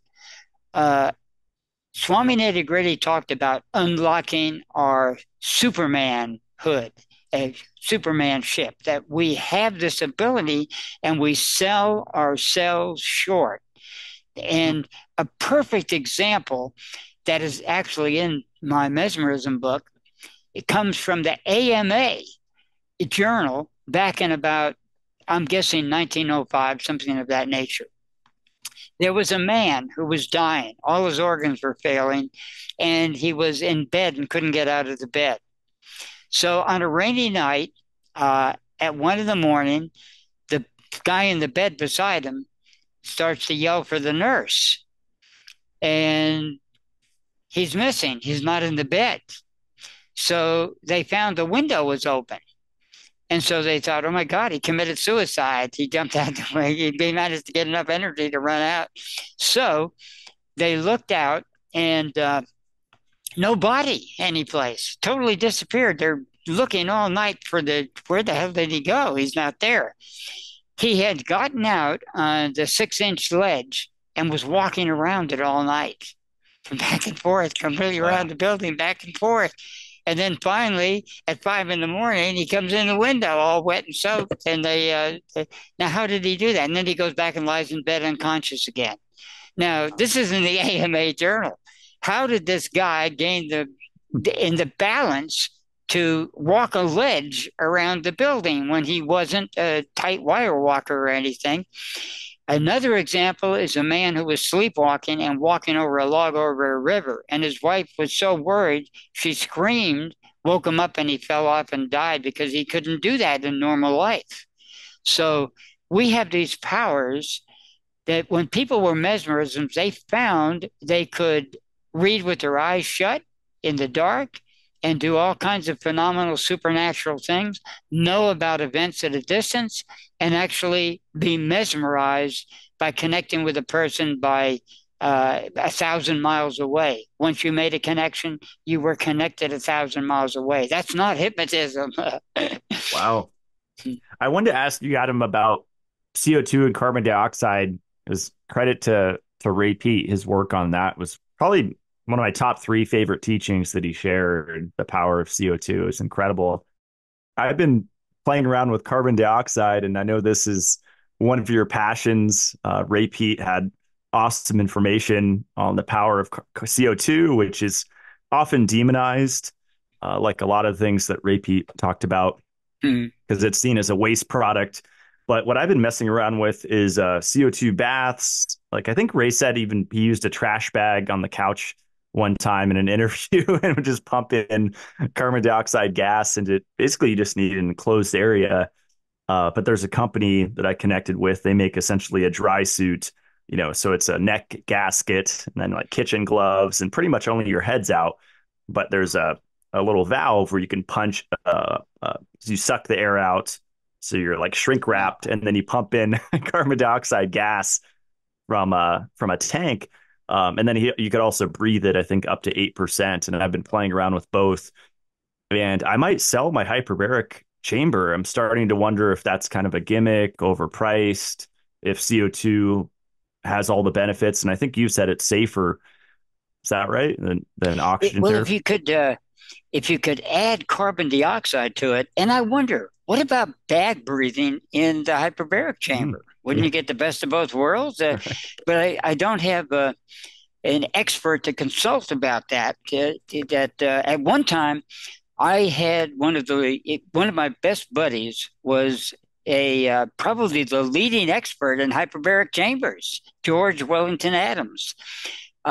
In the 1920s, maybe 30s, actually they started even earlier messing with them, but a lot of them were not built very well. They blew up and killed people. But finally, they perfected it where they built a four-story, completely hyperbaric hospital four stories in Missouri, I believe it was. And uh, they treated patients in all these rooms. They had it loaded with patients. It was uh, financed by a prominent uh, multimillionaire at the time, uh, made all kinds of news. It was therapeutic. And then came the Second World War, and they broke it down for the metal for tanks and other wartime supplies, and it was forgotten. Well, my friend George Wellington uh, Adams was a uh, the leather tiger he was called because he was at Guadalcanal that kind of stuff.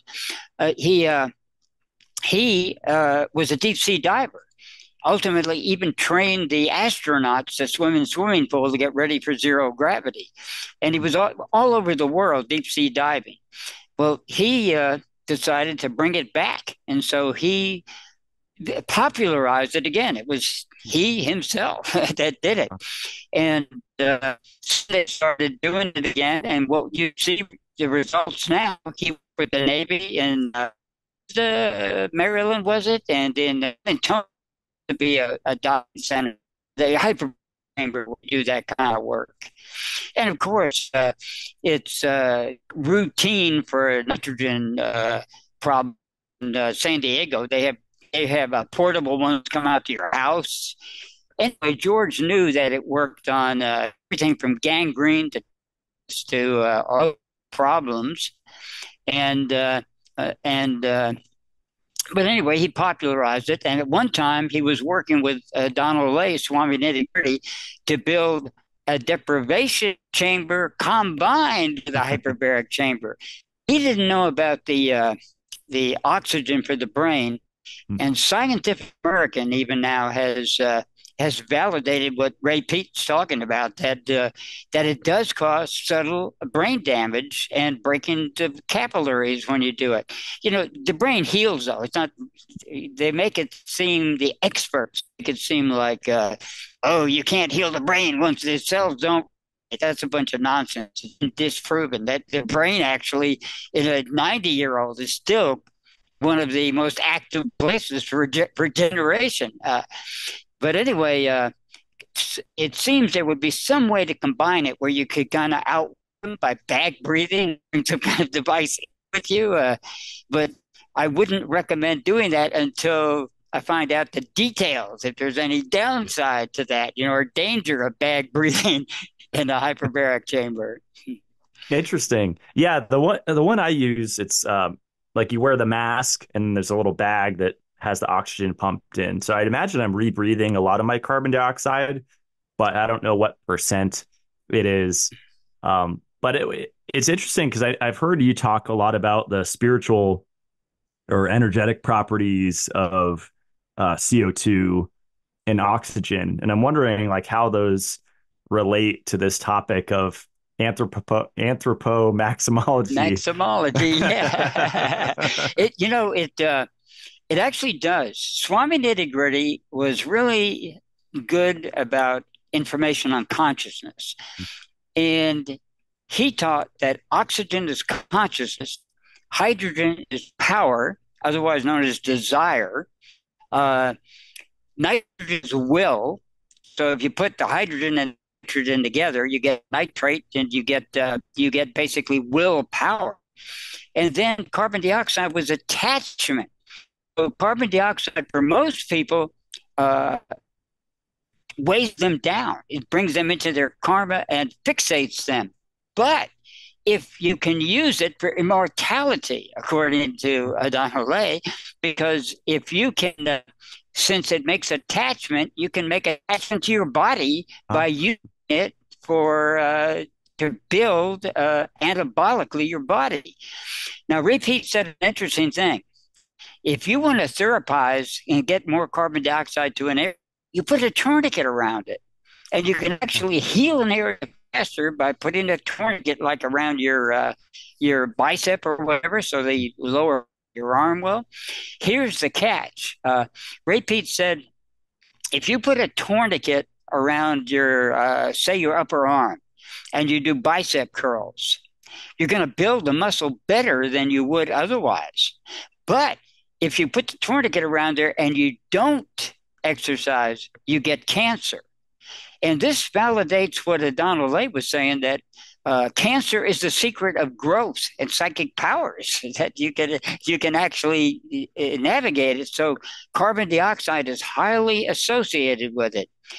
Otherwise, as Swami Nitty Gritty would say, uh, there's no ownership in this world. It's it's franchised to us uh, to, as stewards to uh, take care of it and take care of our body while we're here forever, however long we wish to stay the Babaji factor is there's supposed to be people who live up in the Himalayas that are uh, 500 years old, 1,000 years old, 200 years old, whatever the different accounts uh, say.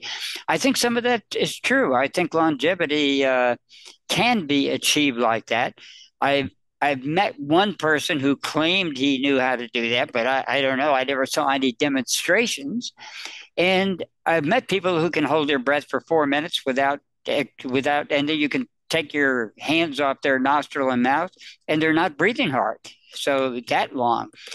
But supposedly there's people that can hold their breath for 24 hours. And again, that Fakir I was telling you about that would be buried and was proven. I mean, you can find the evidence from the uh, British mil- military that they were fascinated. Of course, it would be an advantage to the military to hide under the ground and come out of the ground and surprise people by not breathing for a day until the enemy is all camped above them. Yeah, I was reading something a week or two ago on if you have.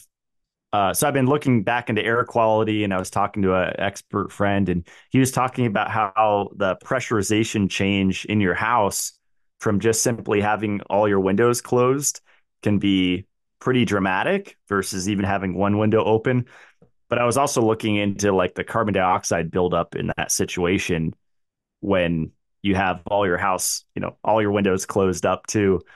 And uh, you would think it would have have a benefit, right, with having higher CO two in in the air. But uh, I feel better just having at least one window open, you know, so I could get the VOCs out and all that stuff. So. Uh, I've wondered about that too, and my mother was a fanatic about that. No matter how cold it was, she would swim. At night, she would open a window by her bed and to let the air come in and breathe mm-hmm. that. But at the same time, you look at uh, a cat. I, I've seen a cat in ten degrees, and they curl up. You can't even see them. They look like they disappear into themselves and obviously their nose is under the uh, in their fur now i've experimented with uh, with sleeping under the covers. And I've noticed you get more heat that way by breathing in and out inside the covers. And sometimes I've noticed I had uh, a problem with it. It bothered me, and other times it helped me. So there's cycles of the body we probably don't understand and how that works. And I'm in favor if it makes your body feel good within reason, you go with it. Unless you're an alcoholic and you say the, that booze makes you uh, uh, good, or, or like Elvis felt good by taking all those pills all the time. But uh, but anyway, I think carbon dioxide is a very important thing to research. I think it has to do with longevity, maybe even immortality, as people say, and certainly healing. And uh, I, I mean, I found uh, in my book on carbon dioxide, I went into one chapter was uh, as long as one chapter on healing from an old book was longer than the entire rest of the book. It was so fascinating about how they had huge baths she would go to and and and stay in the bath. They had pools. They had geysers in Germany that became healing centers, quite a few of them, because carbon dioxide would come out of the earth. So they basically uh, piped it into these baths. If you had enough money, you said hey, you had your own private bath. You didn't have to take off your clothes. They healed cancer. They healed women's problems. They healed all kinds of degrees, all kinds of uh, conditions. And it was validated not only in that book, but they gave references to. Uh, known uh, experts at the time. I mean, Lavoisier, people like that, you know, who were involved in this, and they validated it. They also validated mesmerism, by the way, which is a whole other story. But uh, but carbon dioxide is one of the secrets of health and longevity, and I think Ray Peat was really on to uh, important things about it. Yeah, I'm glad I was able to kind of uh, try both hyperbaric oxygen therapy and then CO2 therapy and see the difference. And it's interesting. Say Swami Nitty said oxygen is consciousness and CO2 is attachment. Because I found the CO2 to be uh, so much more, like much more relaxing than the oxygen therapy. Like where I would almost fall asleep from getting bathed in the carbon dioxide. Like the the relaxation used, aspect. Yeah. They they used to use the carbon dioxide as a uh, sedative therapy. I'd found that when when because nitty gritty was talking about that so much, I would look up things like that and kind of douse them in libraries and I found a lot of information about how it's a sedative. What's interesting about the gases and including the unsociable gases like helium and argon and things like that is that they don't act chemically. They don't act oh. at all, but uh, yet they have an effect on our body. So, uh, one of the most powerful sedatives, uh, let's see, which one was it? It's not our, Krypton. Krypton is one of the most powerful sedatives that they actually use as, as a sedative in medicine, and yet it doesn't do anything chemically. It's unsociable, is what they call it. So, carbon dioxide is much like that, and yet it affects our chemistry profoundly. And uh, the and when you pressurize it by changes in pressure through negative and positive ionization, you can get remarkable effects and healings. Wow. Well, you mentioned uh, pressure, and one thing I've always noticed, like if I've gone through like a stressful uh, time in my life, just prolonged for you know months or a year, after I leave the stressful situation, uh, whether it's a relationship, an environment. Uh, I have like this depressurization effect mm-hmm. where um, just like, you know, releasing gas, like burping uh, uh, mainly. And I just feel like I'm deflating like a balloon. And uh, I'm curious, there, there's probably some relationship there with uh, energetics and, and, and psychic abilities and stuff. What are your thoughts on that? You know, uh, we have a book on bloat too, because uh, the secret of weight gain and loss is actually bloat. Uh, Donald Lay once pointed to a, he gave a, uh, a class on solar in the health food store I managed in uh, Carpinteria. And at one point, he pointed to a guy in a can and said, You give me that guy for 15 or 20 minutes, and I'll get him to burp and yawn all of all of that muscle away. so actually, muscle is formed. It's a way of. Uh, you hear about the pump. Arnold Schwarzenegger was so fascinated with the the pump. He said it was almost as good as orgasm to him. But but the pump, you blowed up. When I worked out at the gym, wow, I got a body. Oh no, it's going away. you stop. Well, what what bodybuilders do is basically trap the pump for good or bad. And that you can sculpt yourself with the pulp. And I was fascinated with a uh, with a uh, circus man who could inflate himself and gain like about what seemed to be 30 or 40 pounds and then deflate himself again and do it several times a night as a show. So uh, we give because we bloat seems like a uh, oh that's bad for people. I mm-hmm. have people don't get bloat. Only animals do. Well, animals can swell up with huge bellies and huge uh, throughout their body, and women they're inferior according to the patriarchal society, so they can have menstrual bloat or premenstrual bloat. but men can't have bloat. But actually, bloat is the secret of bodybuilding because calories are really not functional. They they uh, you, can't tell if you're burning calories for metabolism or is it just oxidation. That's why guys like me could stuff food in my body and not gain any weight. And yet, when I was under stress over having a fight with a girlfriend and having to hitch back from Orange County all the way to Carpinteria and got stuck overnight in a culvert, I had uh, two beers. People hitchhiking gave me a beer, and uh, and I bought had enough money Tootsie Roll. So I had a Tootsie Roll. Well, I get home and I'm all worried. Oh my God, I'm having trouble with weight anyway. So I'm going to weigh myself on the scale. I'm 10 pounds heavier. I was staying with my mother. So I said, this can't be right. You, the scale must be off. You get on. Well, she was exactly the same weight. So I mistakenly thought, even though uh, Donald I had explained how bloat works, that my metabolism has changed. I can finally gain muscle and weight. So I force fed myself about three times what I normally ate. And to my horror, every day, some of those pounds came off.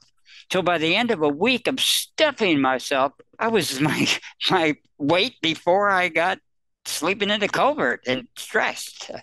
Wow. So that's when I realized that, hmm, Swami Nitty Gritty knows what he's talking about. And since then, I've seen many cases of people gaining weight through shock and also gaining weight by using alternate technologies that we, uh, mm-hmm. we, we that are not taught by mainstream medicine at all. so, can you burp and yawn but keep your muscle? Is that possible? you can still do it, but particularly the useful muscles, mm. because strength and uh, and uh, uh, muscles are two different things. So you can make a happy compromise. Now, I was fascinated with bodybuilding because of the the differences that they could make. Normal nu- nutrition isn't interested in a change of uh, one degree of temperature in your body, what it can do, because bodybuilders are looking for an edge and space medicine too. They want a quarter of a degree of fahrenheit whatever. Uh, i became fascinated by how one I, I, knew a lot of bodybuilders myself and uh, uh, one of them one of them that i didn't know but i read about he would compete in powerlifting in one part of the season and gain 100 pounds for it and then as a bodybuilder and lose 100 pounds for it. And I thought, now I think that's really tough on the, the, the system. But I was amazed that he could do it. That that was a that was an option that you could do, and that he did it season after season after season. That's incredible. so we oh. we have mysteries in the body, and one of the things they teach is uh, if you drink cold liquids, you will lose weight because it makes the calories burn more. Hmm. Now, that sounds logical, but logic doesn't always work with the body. What it does is burn calories, but you get gain weight. You bloat up by gaining weight. And I, have proved it. I would, I would show bodybuilders you do uh, squats, which are, involve a lot of the body. You get as much as the body as you can involved in a full body movement. And then go drink cold water. And uh, they would gain four or five pounds and they, they couldn't believe it. I said, the, the idea is to trap that.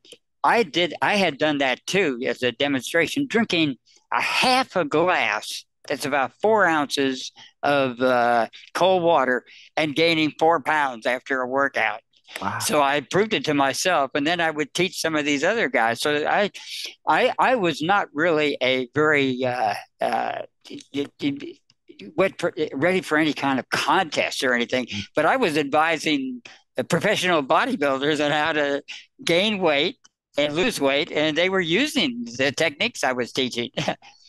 Are the effects amplified if it's cold carbonated water? like a yeah, soda. The, now the carbonated, Donald Lay warned about carbonation being a problem, but if you use it correctly, yes, then it can be.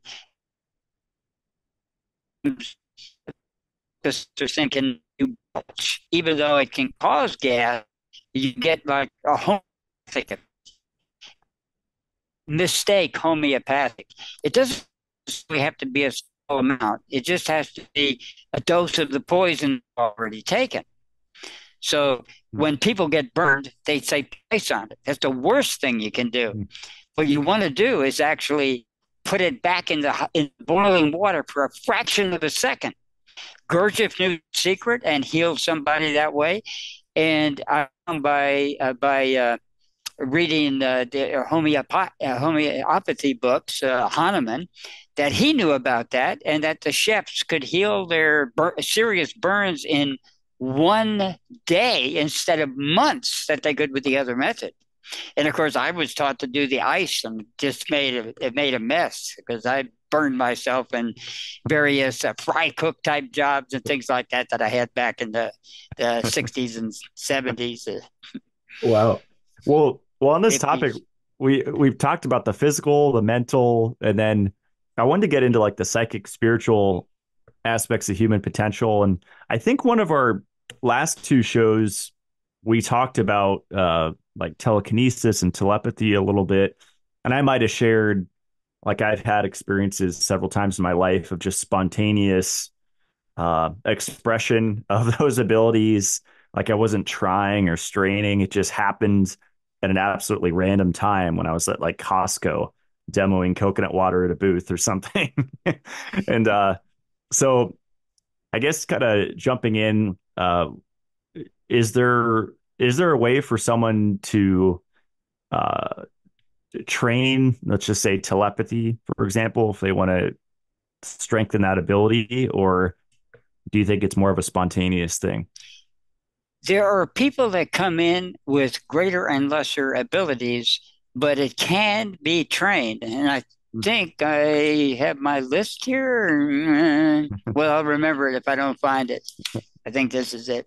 But I'm really starting to, I'm going to start a journal. And uh, it's going to be basically muscle and life force journal. Uh, someone asked me to write a bodybuilding book because I have had a lot of experience in that, even though I've never been a professional bodybuilder. Uh, but I realized I've got so much information on it. I'm going to do a journal so I can do it piecemeal because organization has always been my problem. when we wrote the Yes, No, Maybe book, fortunately, my co author was an organizer. I just gave the information and she put it all together. Uh, journals are more my style because you can go it and make it like a training course. But for people that don't know, I'll, I'll tell you the greatest secret I learned. Uh, I met a doctor who was a cardiac surgery a surgeon in Spain, very famous, and uh, he taught a method. He he found out that we have uh, what they're called what are called anastomoses. They're where your capillaries uh, exchange from your arteries to your veins, and they particularly uh, occur in the fingers. So he noticed that the psychic people tend to have as many as 50 anastomoses in a fingernail, and the non psychic people could have as little as four, that there was a huge difference between it. But then he noticed that psychics tended to use their hands in special ways. So he offered me the job of being the United States uh, representative and uh, founder of his uh, his uh, system of psychic building at the time. This is a long time ago. Now, when I when he first showed me the slides and the examples and all the psychics he had worked with around the world, I call I, I was so excited I ran back to a, a payphone, which is was going on in the 70s, and I called Donald Lay and I said, uh, This guy, the capillaries in the fingers, blah, blah. He said, Well, that's nothing, brother. That's the Akabane points out of acupuncture that he's talking about. so, so I realized that's what those points are at the why they, they're so important at the end of the fingertips that they call them Akabane points and other names uh, that you'll find for them. But anyway, his uh, Dr. Sanchez Perez was his name. Uh, his system was basically take your hands and pretend. Well, here's how you practice: wet your hands and shake the water off with your hands and that will activate the four or five if that's all you got and give you psychic abilities that's why people like uh, the man who used to take uh, put a polaroid camera up to his forehead and take pictures of whatever he was thinking about. And i actually met a a woman in Sedona whose mother, and she showed me the Polaroid pictures. She would take a picture of a tree and she'd get Mother Mary. She'd take a picture of a house, she'd get Mother Mary. So she had all these pictures of Mother Mary that appeared on the on nothing. She couldn't take the picture of a regular thing. She showed me all these pictures. They were Polaroids. How can you fake it? And, and by the way, uh, they were very unusual people. Sedona is one of the craziest. You you, you tip the, the phone man with a joysticks for God's sake. It's so bizarre. You meet all kinds of people up there. A lot of them are phony, but boy, I tell you, I've met real real things up there, real genuine psychics, paranormal people, whatever. They're up there. yeah, I had trouble sleeping. I think it was one of the first few nights because the the mineral content. What is the, a lot of iron in the ground or something? I think that's it because uh, when when I first went up there, I went up with my girlfriend on spiritual Groundhog Day. What was that? The harmonic convergence. You remember that? so we went up there, and I was kind of dissing it, like meditation is in within your body.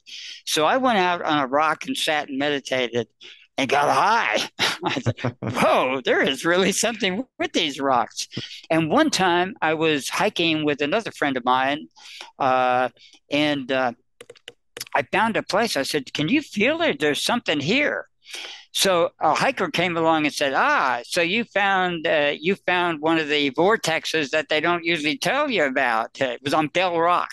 Oh, yeah. And uh, so we didn't know it was a vortex. And this guy said, That's a vortex. And, and we could feel it. Yeah. So uh, there is energy up there, and, and, and you can, again, uh, generate it by actually uh, shaking the fingertips, as simple as that.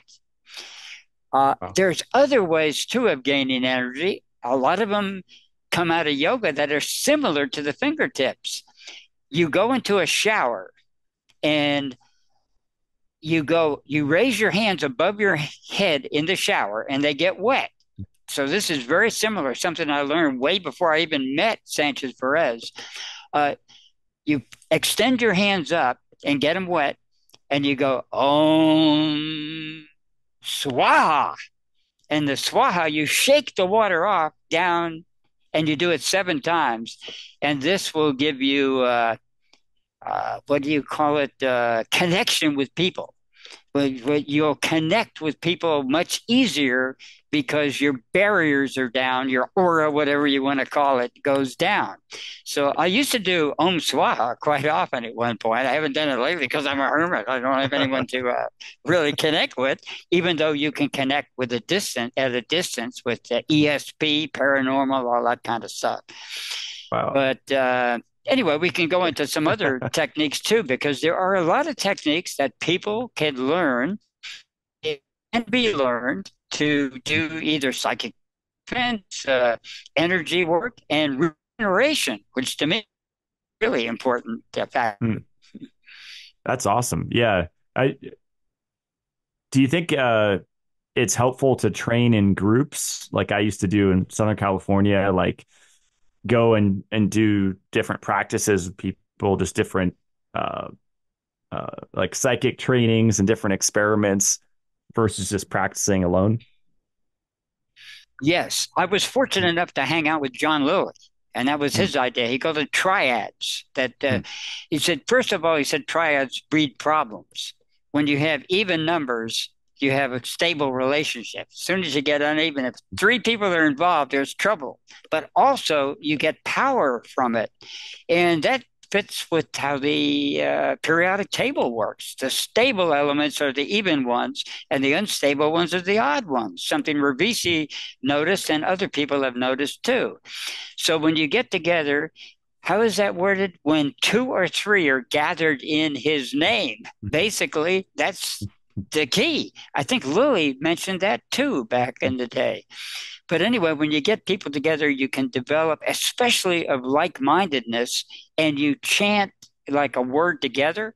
Like if a huge group does Om, I've seen a room just totally get calmed out. Satchidananda used to do that, uh, where he'd have people chant before, and Adana Lay would synchronize people by let us meditate before the satsang. Well, we would meditate for about 20 minutes, and everybody had questions, but it wiped our minds so clean, we wouldn't have any, the questions disappeared. And so then he would say, Well, if there's no questions, we'll just adjourn for the night. And everybody would raise their hand and make up a question so that he so that we didn't have to adjourn. And then the questions would come back gradually, but we'd be unified as a group. So yes, there is a group consciousness, a crowd consciousness. You can call it mass formation psychosis in its worst level, but you can also use it to generate energy. Hmm. Maybe that's why people are attracted to concerts. I'm not personally. That's like I'd rather be home alone, but a lot of people are attracted to going to music concerts, right? Uh, I used to be too uh, uh, on some rock concerts, and of course, I used to go to parades, but mostly to look for women. I didn't care much about the parade. Uh, it never did work for me very well. But but anyway, yeah, the uh, the uh, I'm going to pronounce this guy's name incorrectly, but I'm going to try. Guy de Maupassant was a French writer who wrote extensively about consciousness. And he said he had to stay away from crowds because they would pull him into the mid range. And he said there's no way to avoid it in a crowd.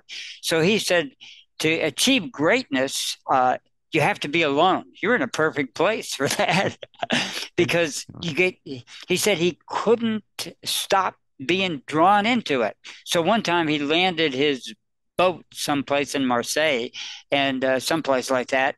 And uh, there was a wedding going on. And he said, no matter what, he couldn't stop uh, being drawn to what was going on at the wedding. And his consciousness was captured.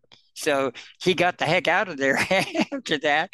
And he, said how bad it could be, but it can also be good if you get like minded people. Gurdjieff formed groups like that that would that would do exercises together, uh, exercises that combined uh, emotional, like you would feel love, and you would do math at the same time, and you would do complicated physical movements at the same time.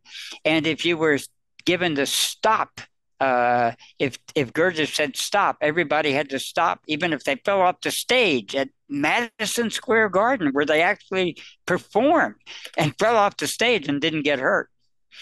So, uh, wow. so he particularly was big on groups because he said our minds tend to distract us, where we get unreal ideas and someone else will say, "Hey, you're full of crap," and bring you back to reality so that you can start again. I had that problem around nitty gritty, and he'd come back, and if I was right, he'd correct me. But otherwise, he basically said, "You're full of crap." You know that that's not true. Uh, and uh, so it's good to have someone as a mirror that is not in our hypnotic state because we are all, all programmed to a degree. Are you familiar with Scott Adams? Uh, he's. Uh, I disagree with most of what he says. He's the creator of Dilbert, and oh, he got yeah. okay. kicked off. Uh, he got he kicked off his job and everything for making comments that uh, are anti woke. and I disagree with uh, I would say at least half of what he says is actually vehemently, but he is a master of hypnosis and he's a master of programming, NLP, and these kind of things. And one of the things he said two days ago was if people knew how powerful hypnotists were, they'd kill us all. and that's actually, people have no idea that they're under a spell. The last four years proved it, for God's sake, that you can tell the public anything and they will go for it. Guy, uh, uh, other writers uh, have uh, have mentioned that hundred years ago that if you, all you have to do is come up with a narrative, and people will believe anything when they're under shock. So that's why they want to keep the fear porn going, so that people are not they blend into the crowd for protection. It's a natural mm. herd instinct. You get a bunch of animals together, there's a predator, the herd goes right together and glues itself together so that they can guard each other and uh, watch their other sixes, uh, so to speak, their buttocks. yeah. So over the weekend, someone texted me a, a BitChute video. I guess there's a a theory going around that you know the MAC address you have like on your iPhone if, or if you have a Mac desktop.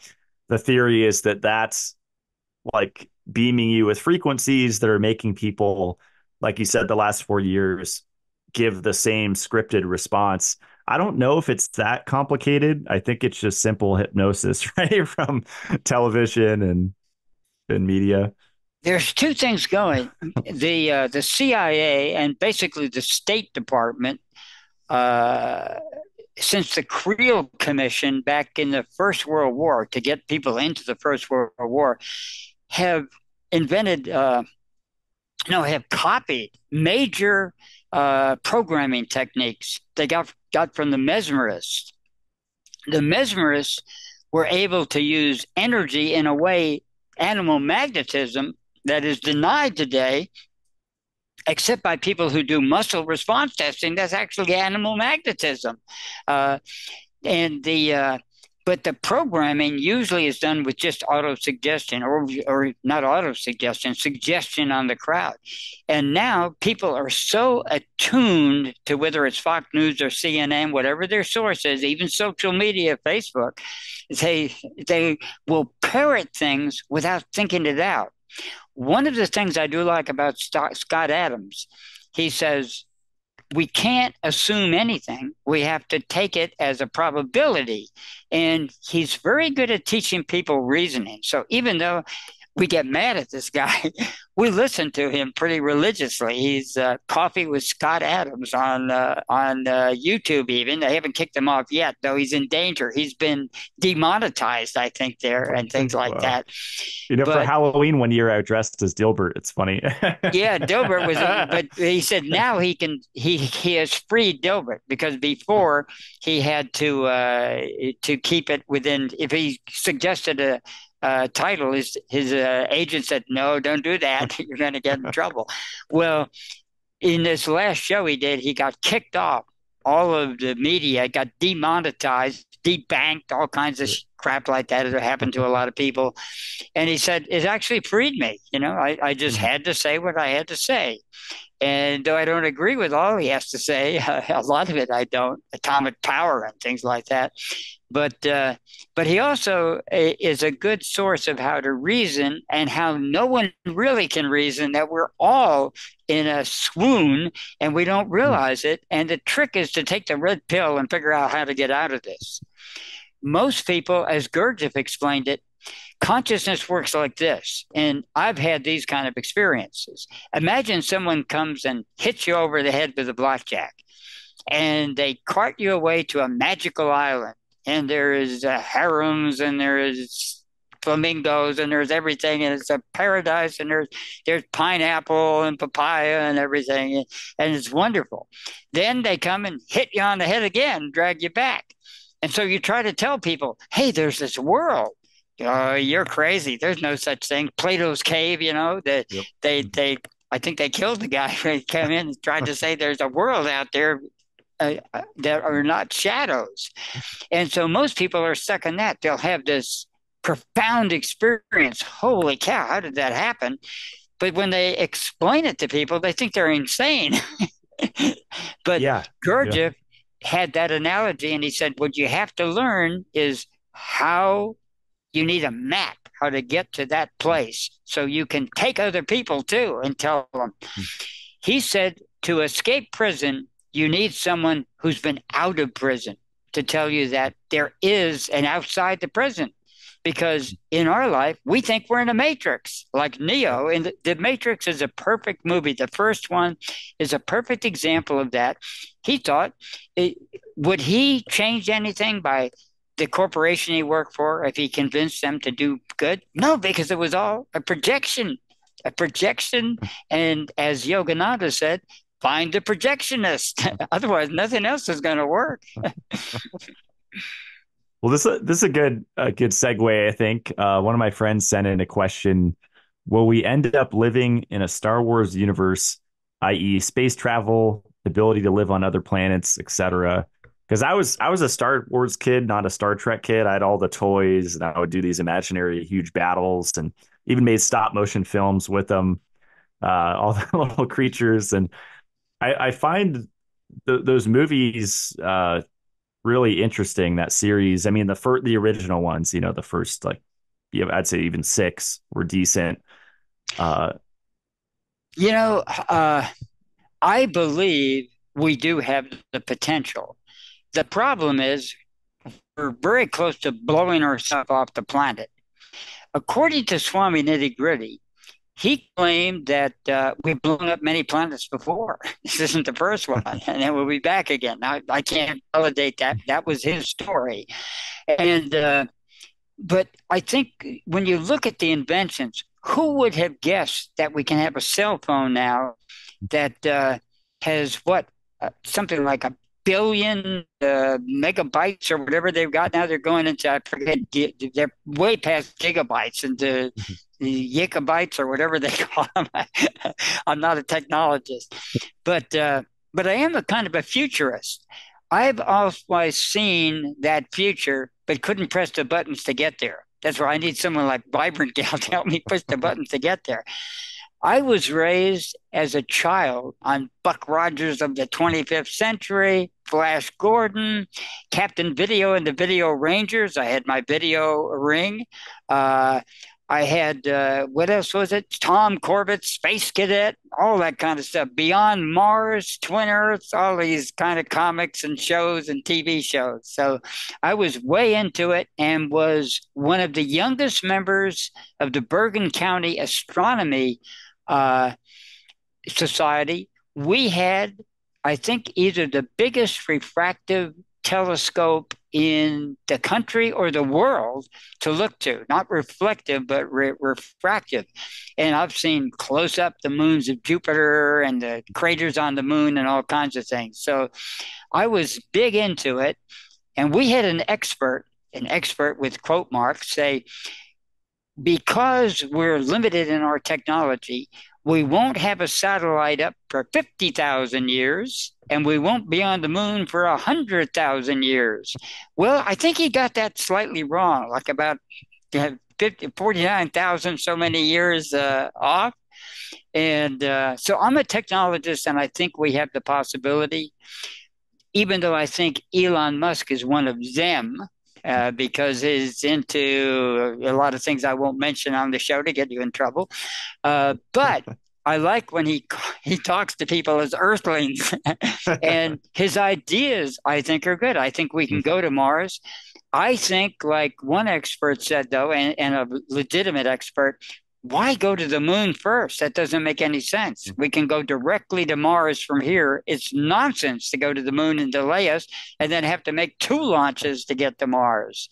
So uh, I think it can be done. I think suspended animation is possible. Ray Peat was not big on uh, hibernation, but there's hibernation research going on at the University of Seattle, at Washington, at Seattle, uh, that that we actually have genes in us for hibernation in the uh, spleen pancreas area.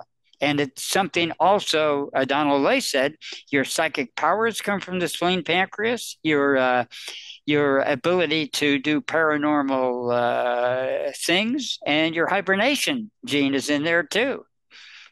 Wow. Yeah. One of my favorite movies was uh, um, was Sylvester Stallone, uh, where he goes into hibernation with uh, Wesley oh, Snipes. Do you remember that? that? it, it's actually a parody. It is so funny. All the you know the cholesterol people hiding under the earth and all that. Yeah, that was one of my favorite movies too.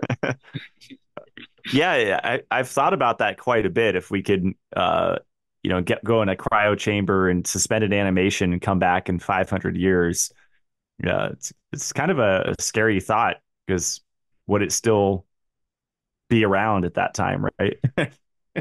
Right. There's been several movies with uh, Idiocracy was one of them, and uh, the uh, Mel Gibson movie too uh, on that mm-hmm. theme. Uh, Ray Peat was not into hibernation, but Swami Nitty Gritty certainly was, and I think there's advantages to both sta- states. By the way, in a personal correspondence with Ray, he didn't think much of yawning either.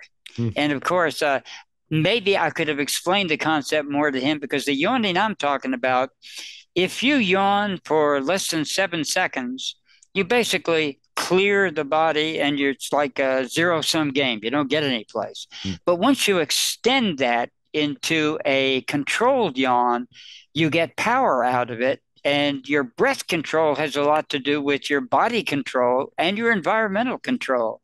So, the technique that Adano taught us is you inhale for, say, 10 seconds, which is be, at least beyond seven seconds. And then you hold your breath for 10 seconds. And then you exhale for 10 seconds. And then you uh, hold your breath at the bottom, too. That's a 40 second yawn now when you do it that much. And that's hard for most people to do. So most people will do like an eight second, uh, eight seconds, but really a yawn, usually the whole thing takes place in seven seconds. So if I'd explained it to that uh, way closer to Buteyko breathing and some of those techniques, perhaps Ray would have. Uh, I just never wrote him back on that. That's pretty interesting. Um, kind of a, a random question here. Someone asked, "What is your go-to lunch?" What did what did I what? What's your go-to uh, lunch? Like, what do you eat for lunch usually? Oh, for lunch, uh, because uh, if I was a meat eater, I'd be eating beef, or I'd be eating chicken, or I'd be eating one of the four-legged animals, basically. because I don't, I get my protein mostly from dairy and from uh, things like mung bean sprouts. Even sprouts were approved by Ray Peat. He didn't think much of beans, but Vibrant Gal has been really insistent, and we've been eating mung bean sprouts a lot for lunch with some raw cheese. Or in my case, I can't get goat cheese uh, raw, so I buy a type of uh, goat cheese that I uh, that is pasture, pasteurized, I guess. And uh, so it's things like cheese and uh, uh, mung bean sprouts, maybe lentils sometimes, uh, cauliflower, uh, various uh, broccoli. Right, she's helping me here. and and and oh, we we like tomatoes. Yeah, tomatoes, peppers, cucumbers. She's she's she's got the list going there. yeah and we we are lucky enough to get it at a farmers market here from mm-hmm. local farmers. So we get really good stuff. We know it's legitimate. A lot of so-called organic stuff and whole foods in places that are not real. And they have a peel and all kinds of crap on them now. God knows what they're doing.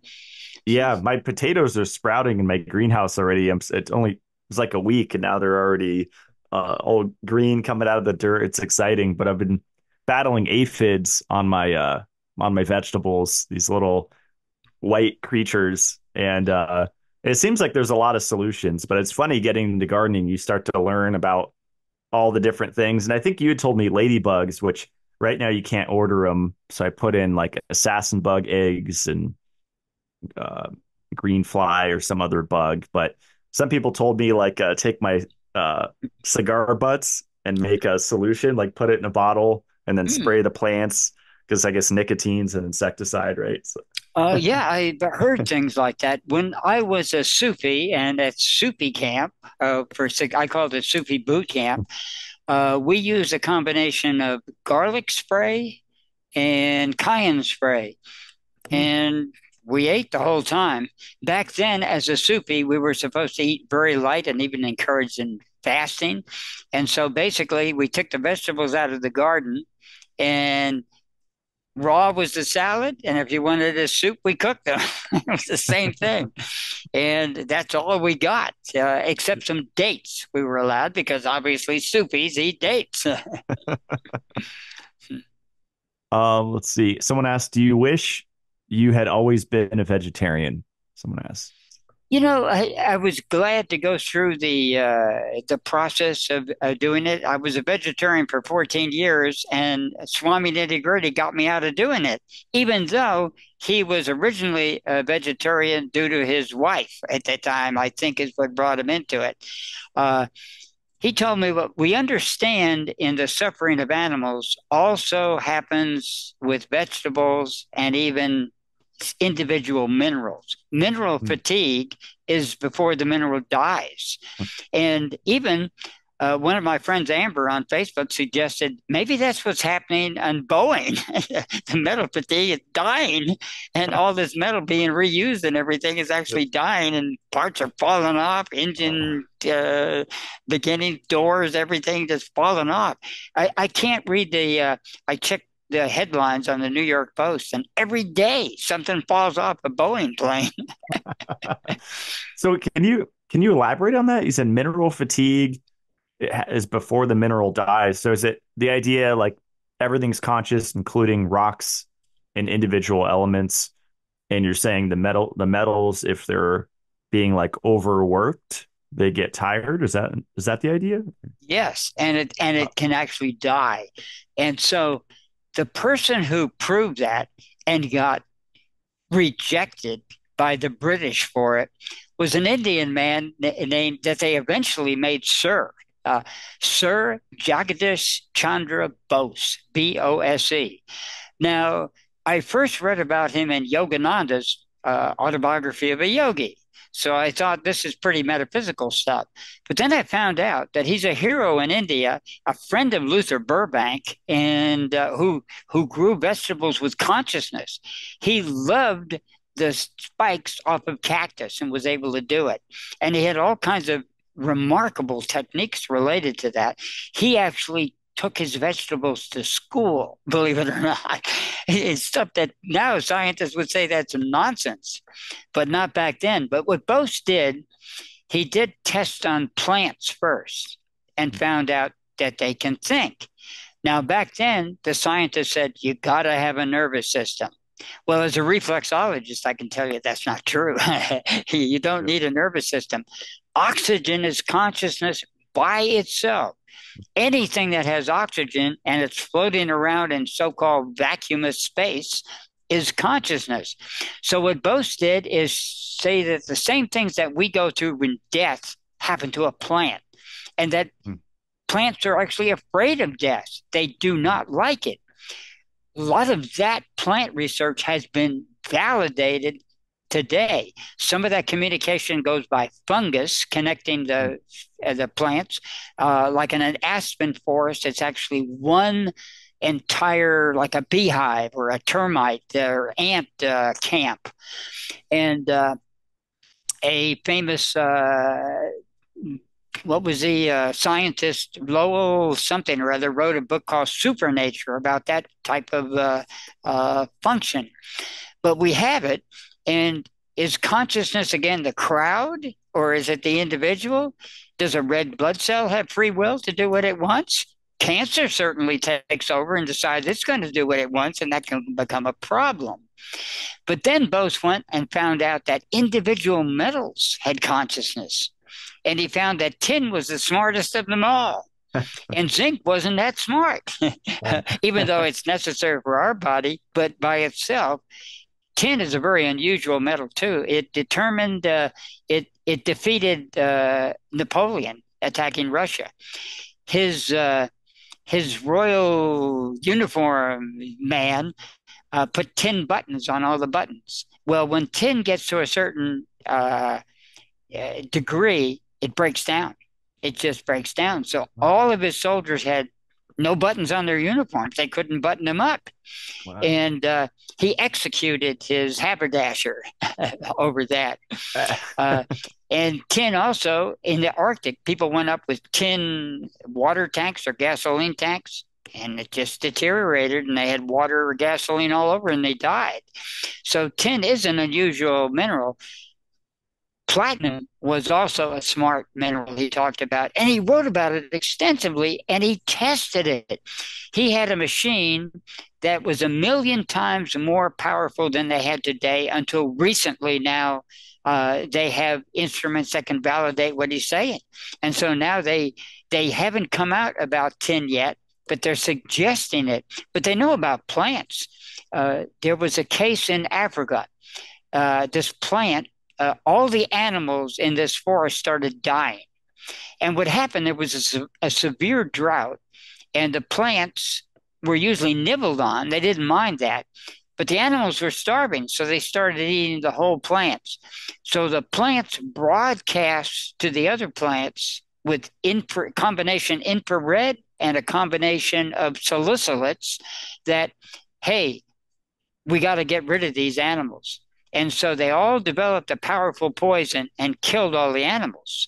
So this uh, expert came out and saw all these dead animals. How do you explain them? And that turned out to be the explanation. The plants had assassin had killed them. wow.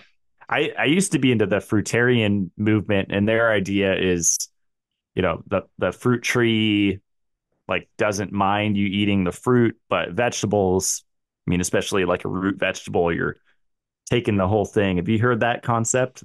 Definitely have heard that concept. and uh, according to Donald Lay, the longest living you're going to be is fruitarian.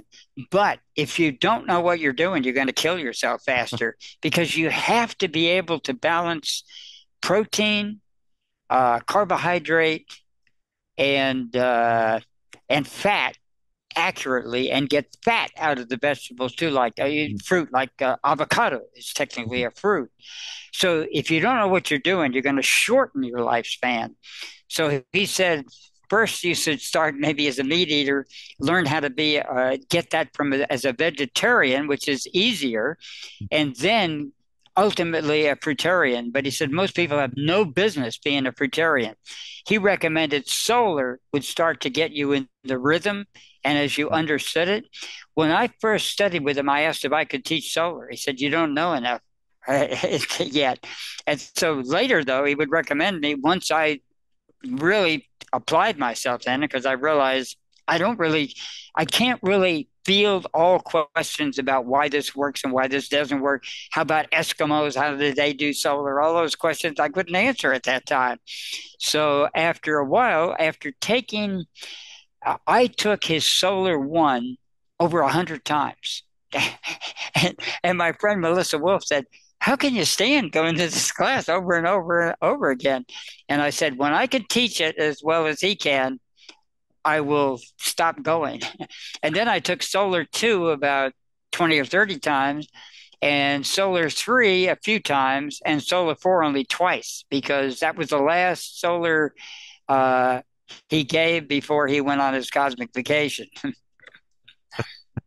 this is kind of a random one. What role does music play in healing, and what are Atom's favorite bands? Hmm. I, have always loved music. And of course, being raised in the rock and roll era of Elvis Presley, we just watched a documentary about Elvis last night, by the way. Uh, I loved Hound Dog and all those uh, uh, type of music and all of the take me to the hop type of stuff. I think that was really good music. And then I did also like when we got into the Beatles era. A lot of the, the Jim Morrison, the first Doors a- album, I can't find a song I dislike on that. I was a fan of the Doors, of certain Dylan songs, uh, things like that.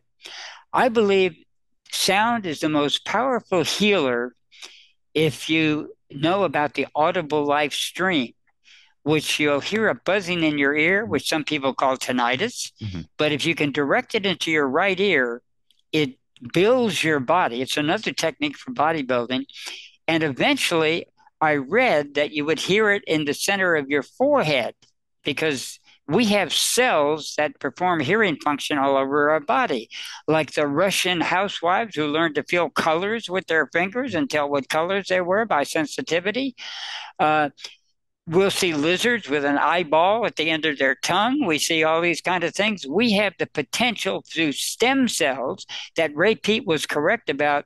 We can make our own stem cells. We don't need stem cells. If you know what you're doing, you can rebuild your body like that that's one thing we agreed on 100%.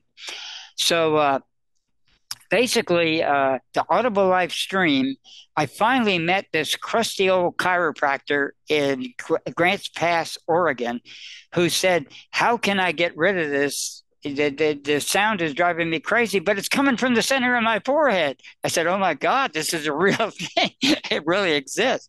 So I told them something I heard Adano say when they heard the hearing in the right ear.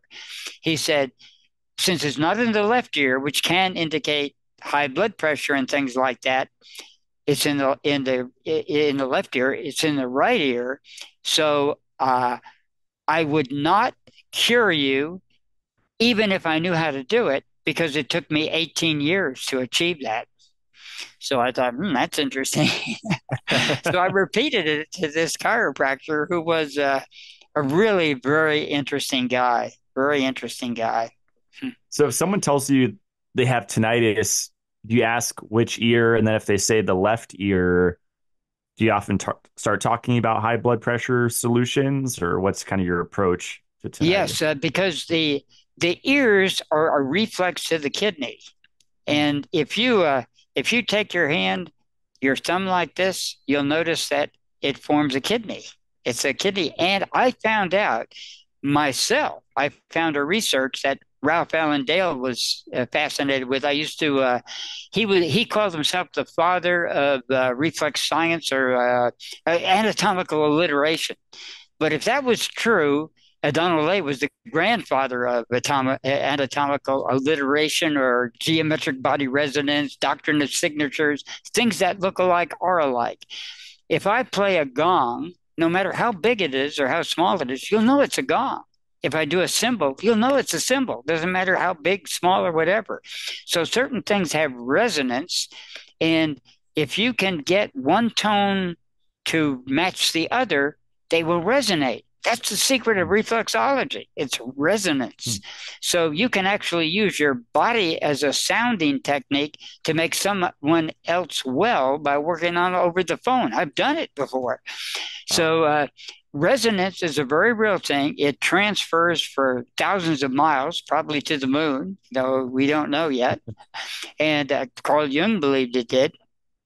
And uh, and and anyway, the ear is a shell.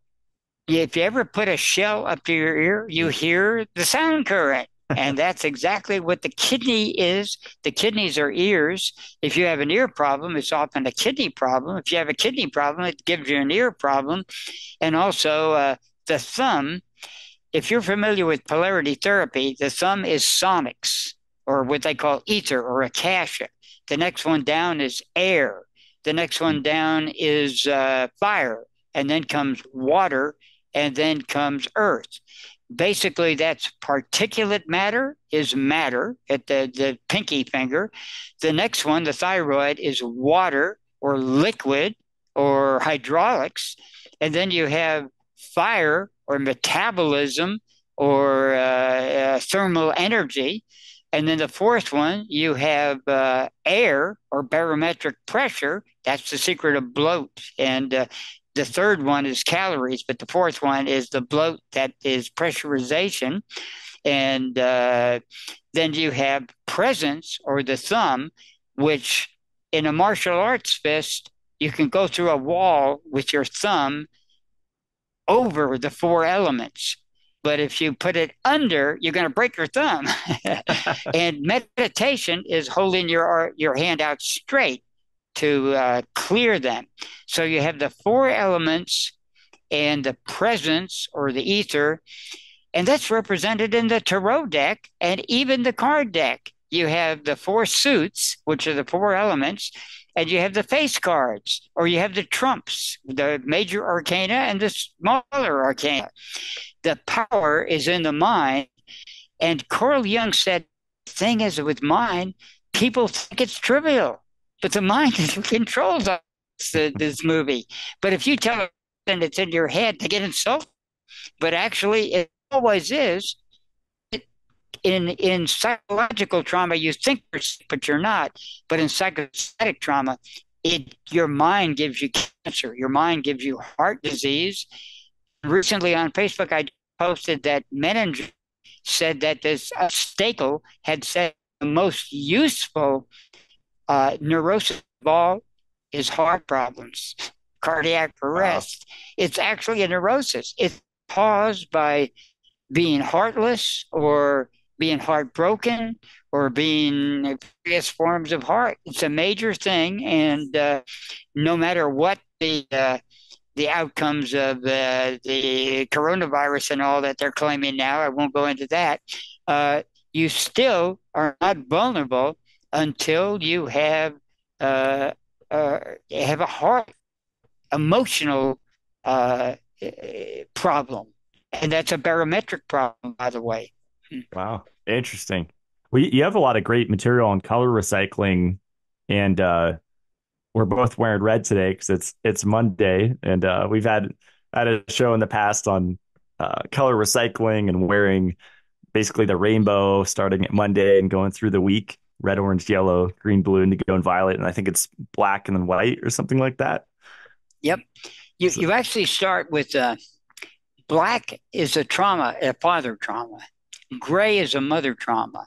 Brown is an attachment or a carbon dioxide trauma. and then you have red, which is a moving trauma, and red stops you. That's why you have red stoplights. Then you have uh, orange is a sexual trauma. Bunnies will mate under it. Certain uh, uh, goldfish will mate under it, and uh, ducks and bunnies, etc. Then you have yellow, which is a decision trauma. You come up to the traffic light, it turns yellow. Do you hit your brakes or do you go like hell?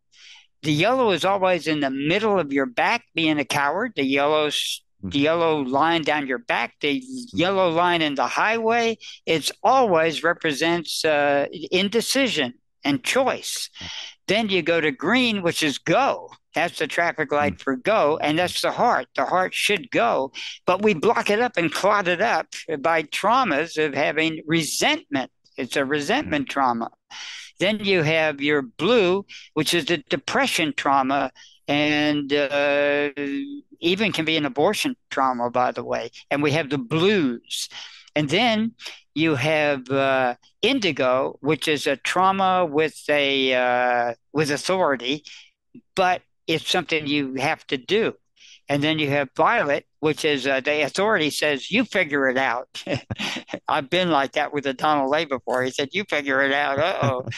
um, and then you have finally you end up with white, uh, which is a ethics problem and also a resolution completion trauma.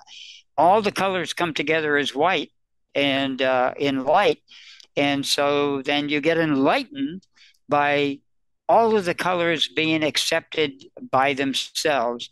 And the next one is clear. You get clear of it, and you get transparent. That word, transparent. You're beyond the black and the gray now and into transparent. You, you don't go, I want to be colored of my trauma. You go to and say, I want to be clear of my trauma. I don't I don't want to be uh, uh, what do you call it, uh, partially clear my trauma. I don't want to be stuck with a particular color. We use the colors for energy then when we get over the trauma. In fact, Monday is an ideal day to do bodybuilding because red builds muscles. It stops things and slows it down where you can uh, you can make particulate matter That's why red is associated with the first chakra, orange with the sexual one, third with the power chakra, green with heart chakra, and blue with the throat chakra. Wow. Well, good thing I did a little workout before our show. I definitely felt stronger. It's interesting. Yeah. Do you think wearing the correct colors on different days of the week supports our human potential and physical, mental, and psychic, like our innate abilities? Does it help strengthen? Yes, those? and uh, we've been going through some trauma the last couple, several months here. Actually, for about a year or two. Uh, so sometimes I get lax on it. Today I'm wearing red anyway, and uh, and uh, it really helps. I had a friend of mine, a chiropractor named uh, and an acupuncturist and other things, named Thaddeus Alien Hedges, and he carried color therapy to an extreme and did quite well with it. He would wear the inverse color on the bottom, which is, I don't usually go to that trouble. In other words, red uh, shirt, green pants. He had colored shoes. He had colored hats that matched the. He, he would uh, he would he would cause a sensation when he walked around as a as a uh, red shirt, uh, green pants, uh, orange shirt, blue pants, uh, yellow shirt, violet pants, uh, green shirt, red pants. he did the whole thing. And he took a house. He rented a house from another good friend of mine and asked if he could do some work on it. And she's painting. She said, Oh, sure, paint it. She didn't know that he would paint the bedroom one color, the kitchen another color, a therapy, and put plastic over it to make the light come in yellow, green, red, and everything. Well, she was freaked out when I told her what he did. But I said, you know, you're going to sell the house now, but uh, someone will enjoy that type of house. And sure enough, someone paid for it. they, they liked the idea. but Thaddeus carried it to the absolute extreme. And, and to his credit, really good. Wow. Yeah, I know you've talked about painting uh, even the the bed sheets and stuff as someone's trying to conceive versus not there's different colors that you use right? Makes a huge difference but but after somebody had a uh, couldn't get pregnant and i told them about the green they conceived after 10 months no after 10 years of not trying to conceive but they had a miscarriage. And then i realized maybe people aren't supposed to do this. So then I would question them very carefully. And uh, when people would say, oh no, we're destined to have this child, I go, oh my God. But I'd, tell them, okay, I'm going to tell you the technique, but I'm handing you a loaded gun. I want you to know this. I'm not responsible for anything that happens.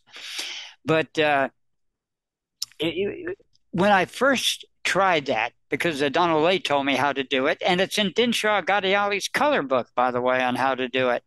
You'd use uh, green systemically and yellow in the sexual organs. So, anyway, I told this person to do green sheets, green beverages, and everything. Now, she couldn't get pregnant, and her husband hated the color green. He had a trauma. He was an artist and he would not use green. And when he first met her, she she opened the door. He was going to date her, her first date. She had a green sweater on. He said, I'm sorry. I'm not trying to be a control freak or anything. I can't go out with you if you wear that green sweater. so anyway, she asked me, they, they told me they were going to adopt. And I said, uh, I said, I can tell you. I said, Do you have all your organs and everything? She said, Yes. Well, I can tell you how to get pregnant, but your husband isn't going to like it. We were all walking together. He said, He stopped us and said, I'll do anything to have a child. I says, Okay. Wear green, use green sheets, eat green food, think green, shit green, everything green. and she conceived within a month or two. And, uh, the child now is uh, one of my friends on Facebook, actually. And the the birth control color is gray. Is that right? Gray is the birth control color, and uh, that's why it's harder to get pregnant at uh, three to five in the morning, which is basically white and gray time and magenta time. And it's easier to get pregnant at bladder time. And science knows that now that you actually have more of a chance of getting pregnant on uh, on uh, at three to five in the afternoon.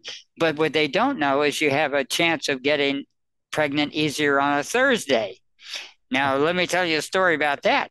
A good friend of mine who taught birth control and things like that, and was uh, an expert on Lamaze and all kinds of things like that. She got pregnant on a Thursday when I when I questioned her, I said, and I said, "Well, I got something to add to your technology on uh, on birth control." So I told her about that. Now she had an abortion. Uh, about three years later, I come back and she was pregnant again and had an abortion. And I said, "Do you know what day you had conceived on?" Yeah, Thursday. I said, write this down this time. I'm telling you. so uh, anyway, uh, green works. Thursday, I, I, can't explain Thursday except by it's very occult and very uh, the way colors work in ways that science doesn't understand. But science does understand the bladder time. You get more oxygenation. Your carbon dioxide time of the day is at lung time, and your and your oxygenation time is at bladder. Oxygenation helps with certain things. Like uh, it, oxidation is not bad; it's just how you use it. The mm-hmm. truth is, when you do the extended yawn, I didn't tell you the whole technique. It's like Kriya. When you take the in breath, you go up your spine and visualize bringing the. You had a cool head and a ass. That's what you wanted. Oh, I remember you saying that before. Of, That's hilarious. You, in other words, carbon dioxide you want in your brain, but you don't want it in your colon. That's where it kills people. But manipulate it up and down your body with visualization, animal magnetism, with various ways doing it, and particularly times of meditation. Lung time is ideally the best time to meditate and before you eat. But as Nada said, don't don't use it as an excuse not to meditate because meditation actually it does it does help it helps develop psychic abilities Donald Lay said it's not a good idea to chase the siddhis and the powers, but if you meditate, you're going to get them. Yeah. so I said, well, I, I, I don't want to mess with them because I, I would probably abuse them. And he said, if you meditate, you can't help it. You're going to get them, so you better learn learn not to abuse them. um, last question, Atom, uh, and this is uh, related to our our connection issues we've been having with the internet. uh, supposedly, Mercury retrograde started uh, April oh, 2nd. it did. I think you, it did. Do you I believe in that? that? Supposedly, yeah. it goes until the 25th. Do you think that really affects technology? You know, there's two ways of looking at it. One, when all the people adopt it as a possibility, they make it happen. because uh, I studied the I Ching, I Ching for years. I even taught workshops on it, even though I'm not a sinologist. I'm not can't speak Chinese and all that. But uh, I found that a book can change your reality. So whether it's mind or what it is, uh, I take uh, astrology seriously eh, because uh, as a synchronicity rather than actually cosmic event. I don't believe that the Ceres, the astro- asteroid, is affecting us by mm-hmm. any physical level. Now, it's well known that Jupiter and uh, Mars and the inner planets of Venus and Mercury do affect us. That's been proved by RCA. So when you have sunspots, you do get effects. You do have more paranormal powers as well as more bad things are supposed to happen. And we're probably at a vulnerable time now because we have the devil's comet coming at us. Comets are always associated with plague and wars, and uh, and eclipses are always uh, associated with the same type of things. Uh, my fifth wife and last one was a uh, astrologer, and she was a darn good one she said she wasn't a predictive astrologer, but she said when they claimed that we're going to have a earthquake on the 5th of January, she said, no, what's going to happen is people who have money are going to lose it. And since we don't have any money, we're not going to lose anything. So we don't have to pay attention. But if I was going to get it, I would guess, uh, I think it was the 21st of January, she said. We were staying here in Goleta with a good friend of mine, and the building starts shaking Now, she had picked a day, and this was three hours later at three in the morning. Everybody's panicking while the building's shaking. I'm jumping up and down on the bed saying, She got it, she got it, she got it right. And she's rolling over. Stop waking me up. I want to go back to sleep. so she was uh, really good at gaining, uh, uh, guessing rising signs, and she would get annoyed when I would introduce her as someone could do that. Lately, I've been following her blog, and I don't know. She's I hmm. think she's lost something off her head. She went back to college, and I think yeah. they got her. She's into biotech and all that oh. stuff. So I think they got her. a lot of people are into human design now. You know the what is it, generator, manifestor. I'm a projector, supposedly. Have you heard of that system? I, have heard of them, yes. And these techniques can help, particularly when you align your mind with it, including a lot of bodybuilding books admit that the mind is one of the most important things. You have to have focus, you have to uh, have discipline, and a lot of visualization power. They have proved that basketball players can improve their shots by visualizing shooting. If they can't get there, they visualize it, and then you can keep your body. Uh, working by visualizing you're doing exercising too. You can actually, if you're bedridden, you can keep your body from shrinking up by doing visualizations. Uh, but I wonder, since you were saying CO2 is attachment and you could attach to your body, would that be a good time to do visualizations like during a CO2 bath? Yeah, I think so. I think so. It would be because I believe it's kind of a combination of things. Hmm. Now, Donald Lay went really far with this he said that the universe is does come from physical matter. Does not come from uh, from uh, vibration. But he pointed up at the stars and said you see all those stars up there throughout the entire universe? The physical matter would fit in a thimble and everything else is acceleration. That gives us what's called we call mind over mind or the sixth chakra the manifest master when you come back into the matrix like Neo and you play around and do things and have fun. so he called the ascending master, as Carl Jung did, useless. What's the good to be ascending? You're not doing anything. Because Adorno did believe the fun in this, in the drama, in the movies. That's why we go to the movies, watch movies. We watch all these uh, Star Trek movies and, uh, mm. and uh, television shows and stuff like that because we like movies. So nothing wrong with that as long as you realize it's a movie and Dracula can't jump off the stage and bite you back. that's that's funny. Yeah, I definitely overdid it last year with movies. I probably watched I don't know over 200 and to me that's way too much. I I feel best if I watch like one or two movies a year. And all the new ones are just horrible. Um, and it's they it's hard to go are. back and find good ones. I've watched. Uh, there's. I used to watch six movies in a night at the movie theaters. Wow. yeah, God, they they closed it down. I had to go to end up at the drive-in. Friday was my movie. It would go on for about a month and a half, then I run out of movies, so, so I had to stop because I'd seen everything. I mean everything.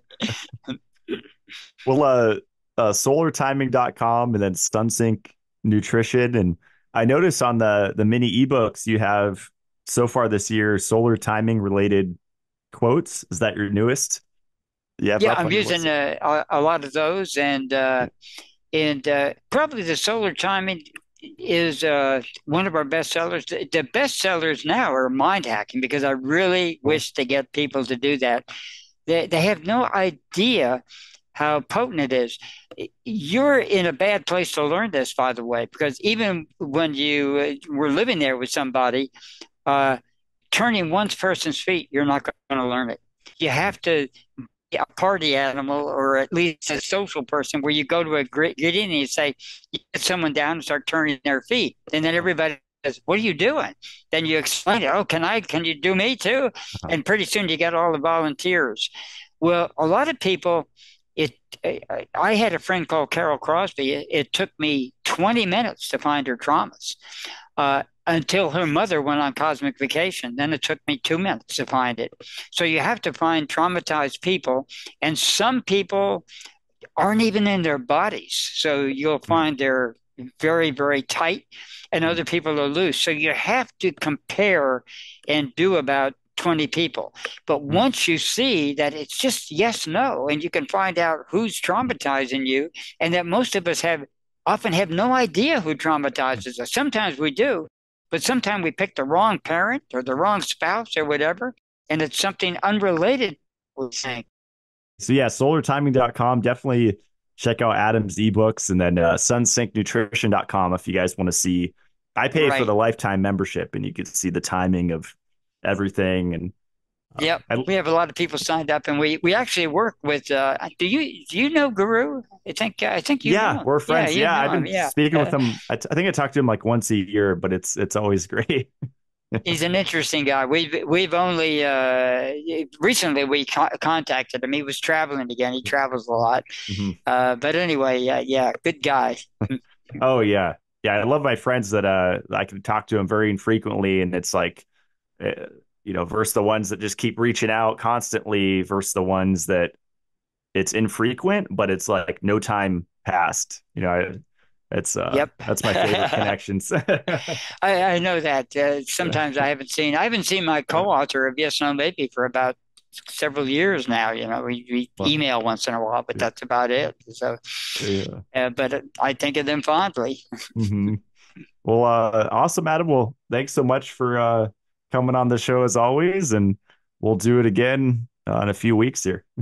yeah, great. And we, we'll talk about because we didn't cover the list here. I've got oh. more abilities because they can be, and because the synchronicity was someone asked me to do. Uh, do I have a book on bodybuilding or what I consider doing it?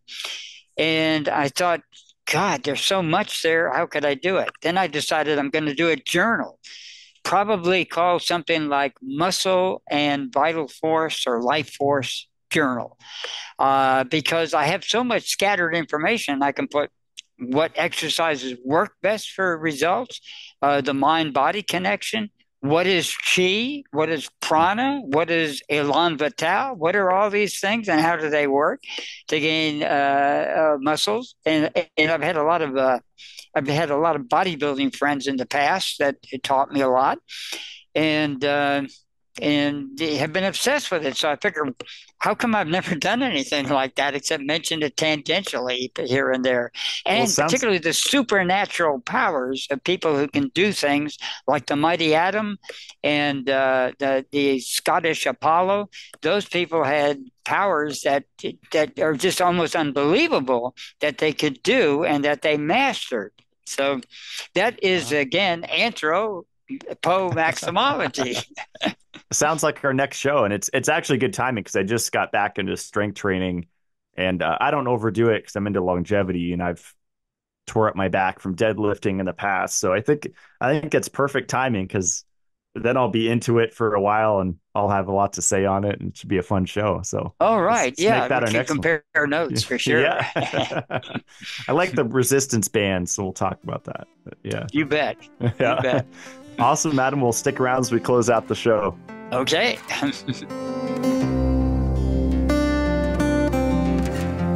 that is all for today's show. Hopefully the quality wasn't that bad.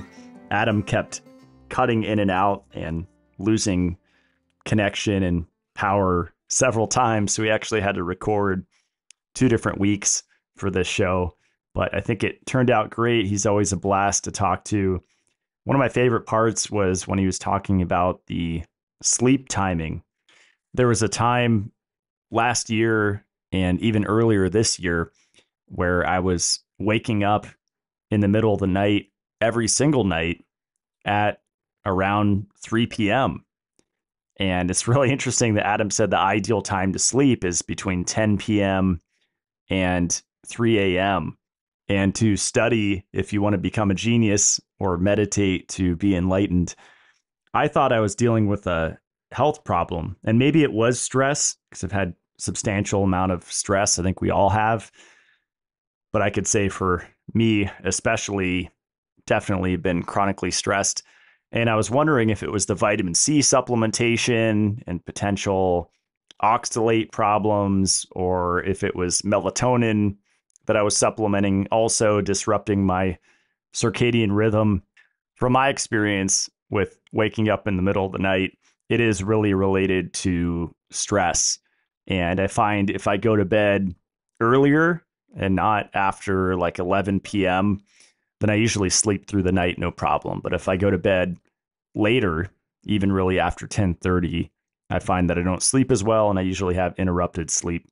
I've actually interviewed Atom about sleep before. So if you search Atom Bergstrom sleep on YouTube, it should come up and he has some interesting things to say about it. His two websites are sunsyncnutrition.com. We've had some shows on solar nutrition or solar eating, which is the idea of eating different foods at specific times of day. So that website, Sunsync Nutrition, is great if you want to dive into that and experiment with it. You can pay for a membership and you could see a food list of what to eat at what times. His other website is solartiming.com. That's where he has all of his ebooks. My favorite books from him are the ones that he wrote on yellow fat disease. He actually has something called a compendium with more than 325 pages of all of his research on what is also called degenerative lipofuscinosis or lipofuscin, like you've heard me talk about. I agree with Atom that it's one of the biggest issues that humanity faces, and nobody is really talking about it. I notice, especially with a lot of keto coaches and also quantum health influencers, that you'll start to see these spots, especially on their forehead. And it's called age spots. And Atom calls them omega 3 barcodes. But there's all of these things that play into it potentially excess iron or misplaced iron. There could be excess estrogen involved, excess metals in general, like aluminum. But sunlight supercharges it. And so if you already have these in your skin and you go out in the sun, they just spread like a wildfire. So things like vitamin E are really important to emphasize. Whenever I hear people talk about fat soluble vitamins, like big health influencers in this space, they'll often skip right over E. They'll say A, D, and K. I said, wait, there's another one you missed, and it's probably the most important one which is vitamin E. And credit to Atom Bergstrom for introducing me to vitamin E. And then I got into Ray Peat's work because of Atom Bergstrom and read Ray Peat's work on vitamin E and listened to all of his interviews on it. And I was inspired to start taking it. And this is after being an algae oil salesman and realizing that that product was not good for human health, especially taken chronically, especially in high doses.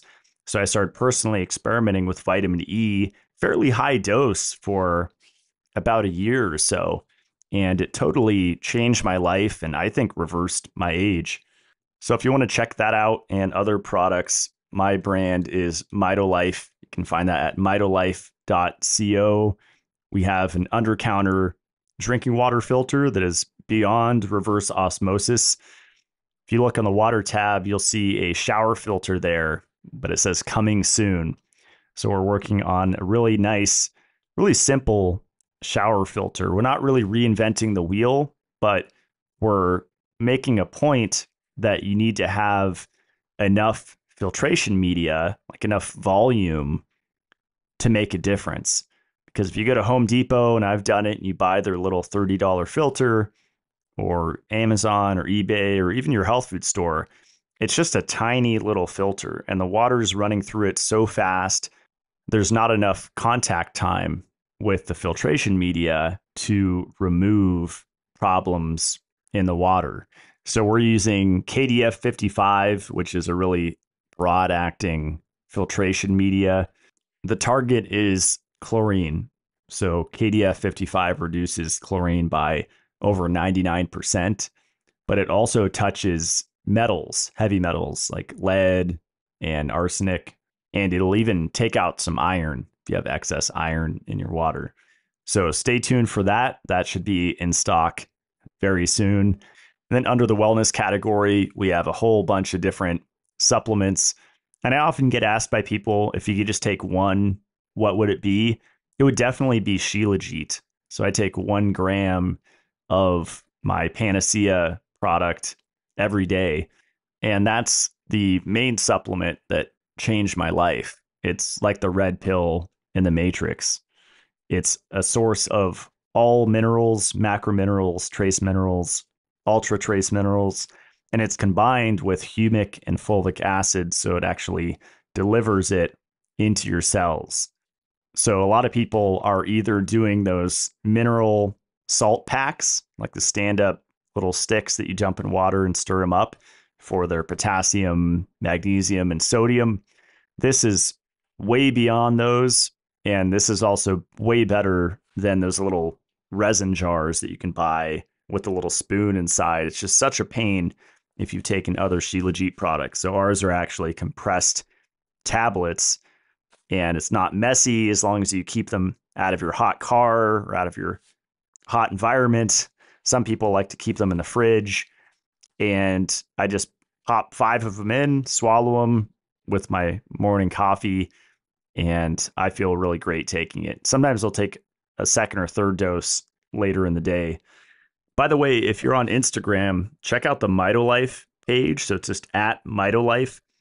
There's so many questions that we get flooded with, and I put a lot of time and energy and resources into education about all of these products and how and when and why to use them. So we recently did a post on timing of the MitoLife supplements, and that can be found on the MitoLife Instagram. And I think the MitoLife Facebook as well, but I think the Instagram is the best source for that. My website is matt-blackburn.com. You can read about my CLF protocol, which stands for calcification, lipofuscin, and fibrosis. I talk about why they're a problem and my solutions to them, which circles back to the MitoLife products. So, dissolve it all or systemic enzymes for fibrosis or really any fibrotic condition.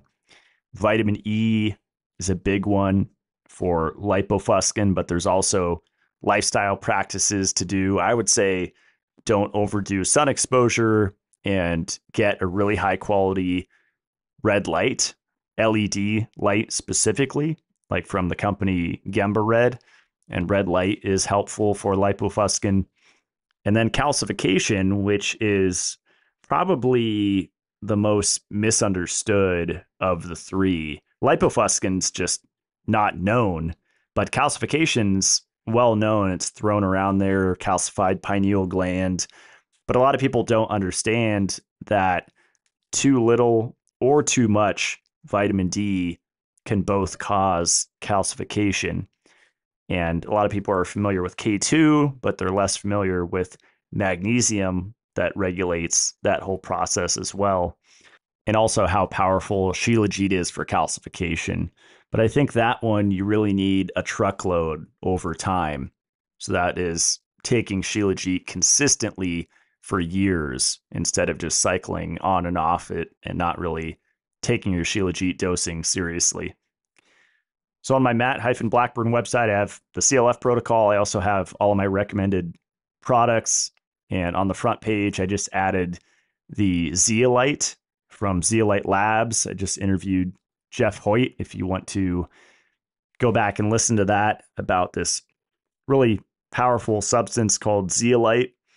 Something else that's misunderstood. So he talks a lot about the myths of liquid zeolite, nano zeolite, and why he sells just a straight powder and why you want to megadose it and actually taking too small of a dose can cause a more intense detox, which is counterintuitive.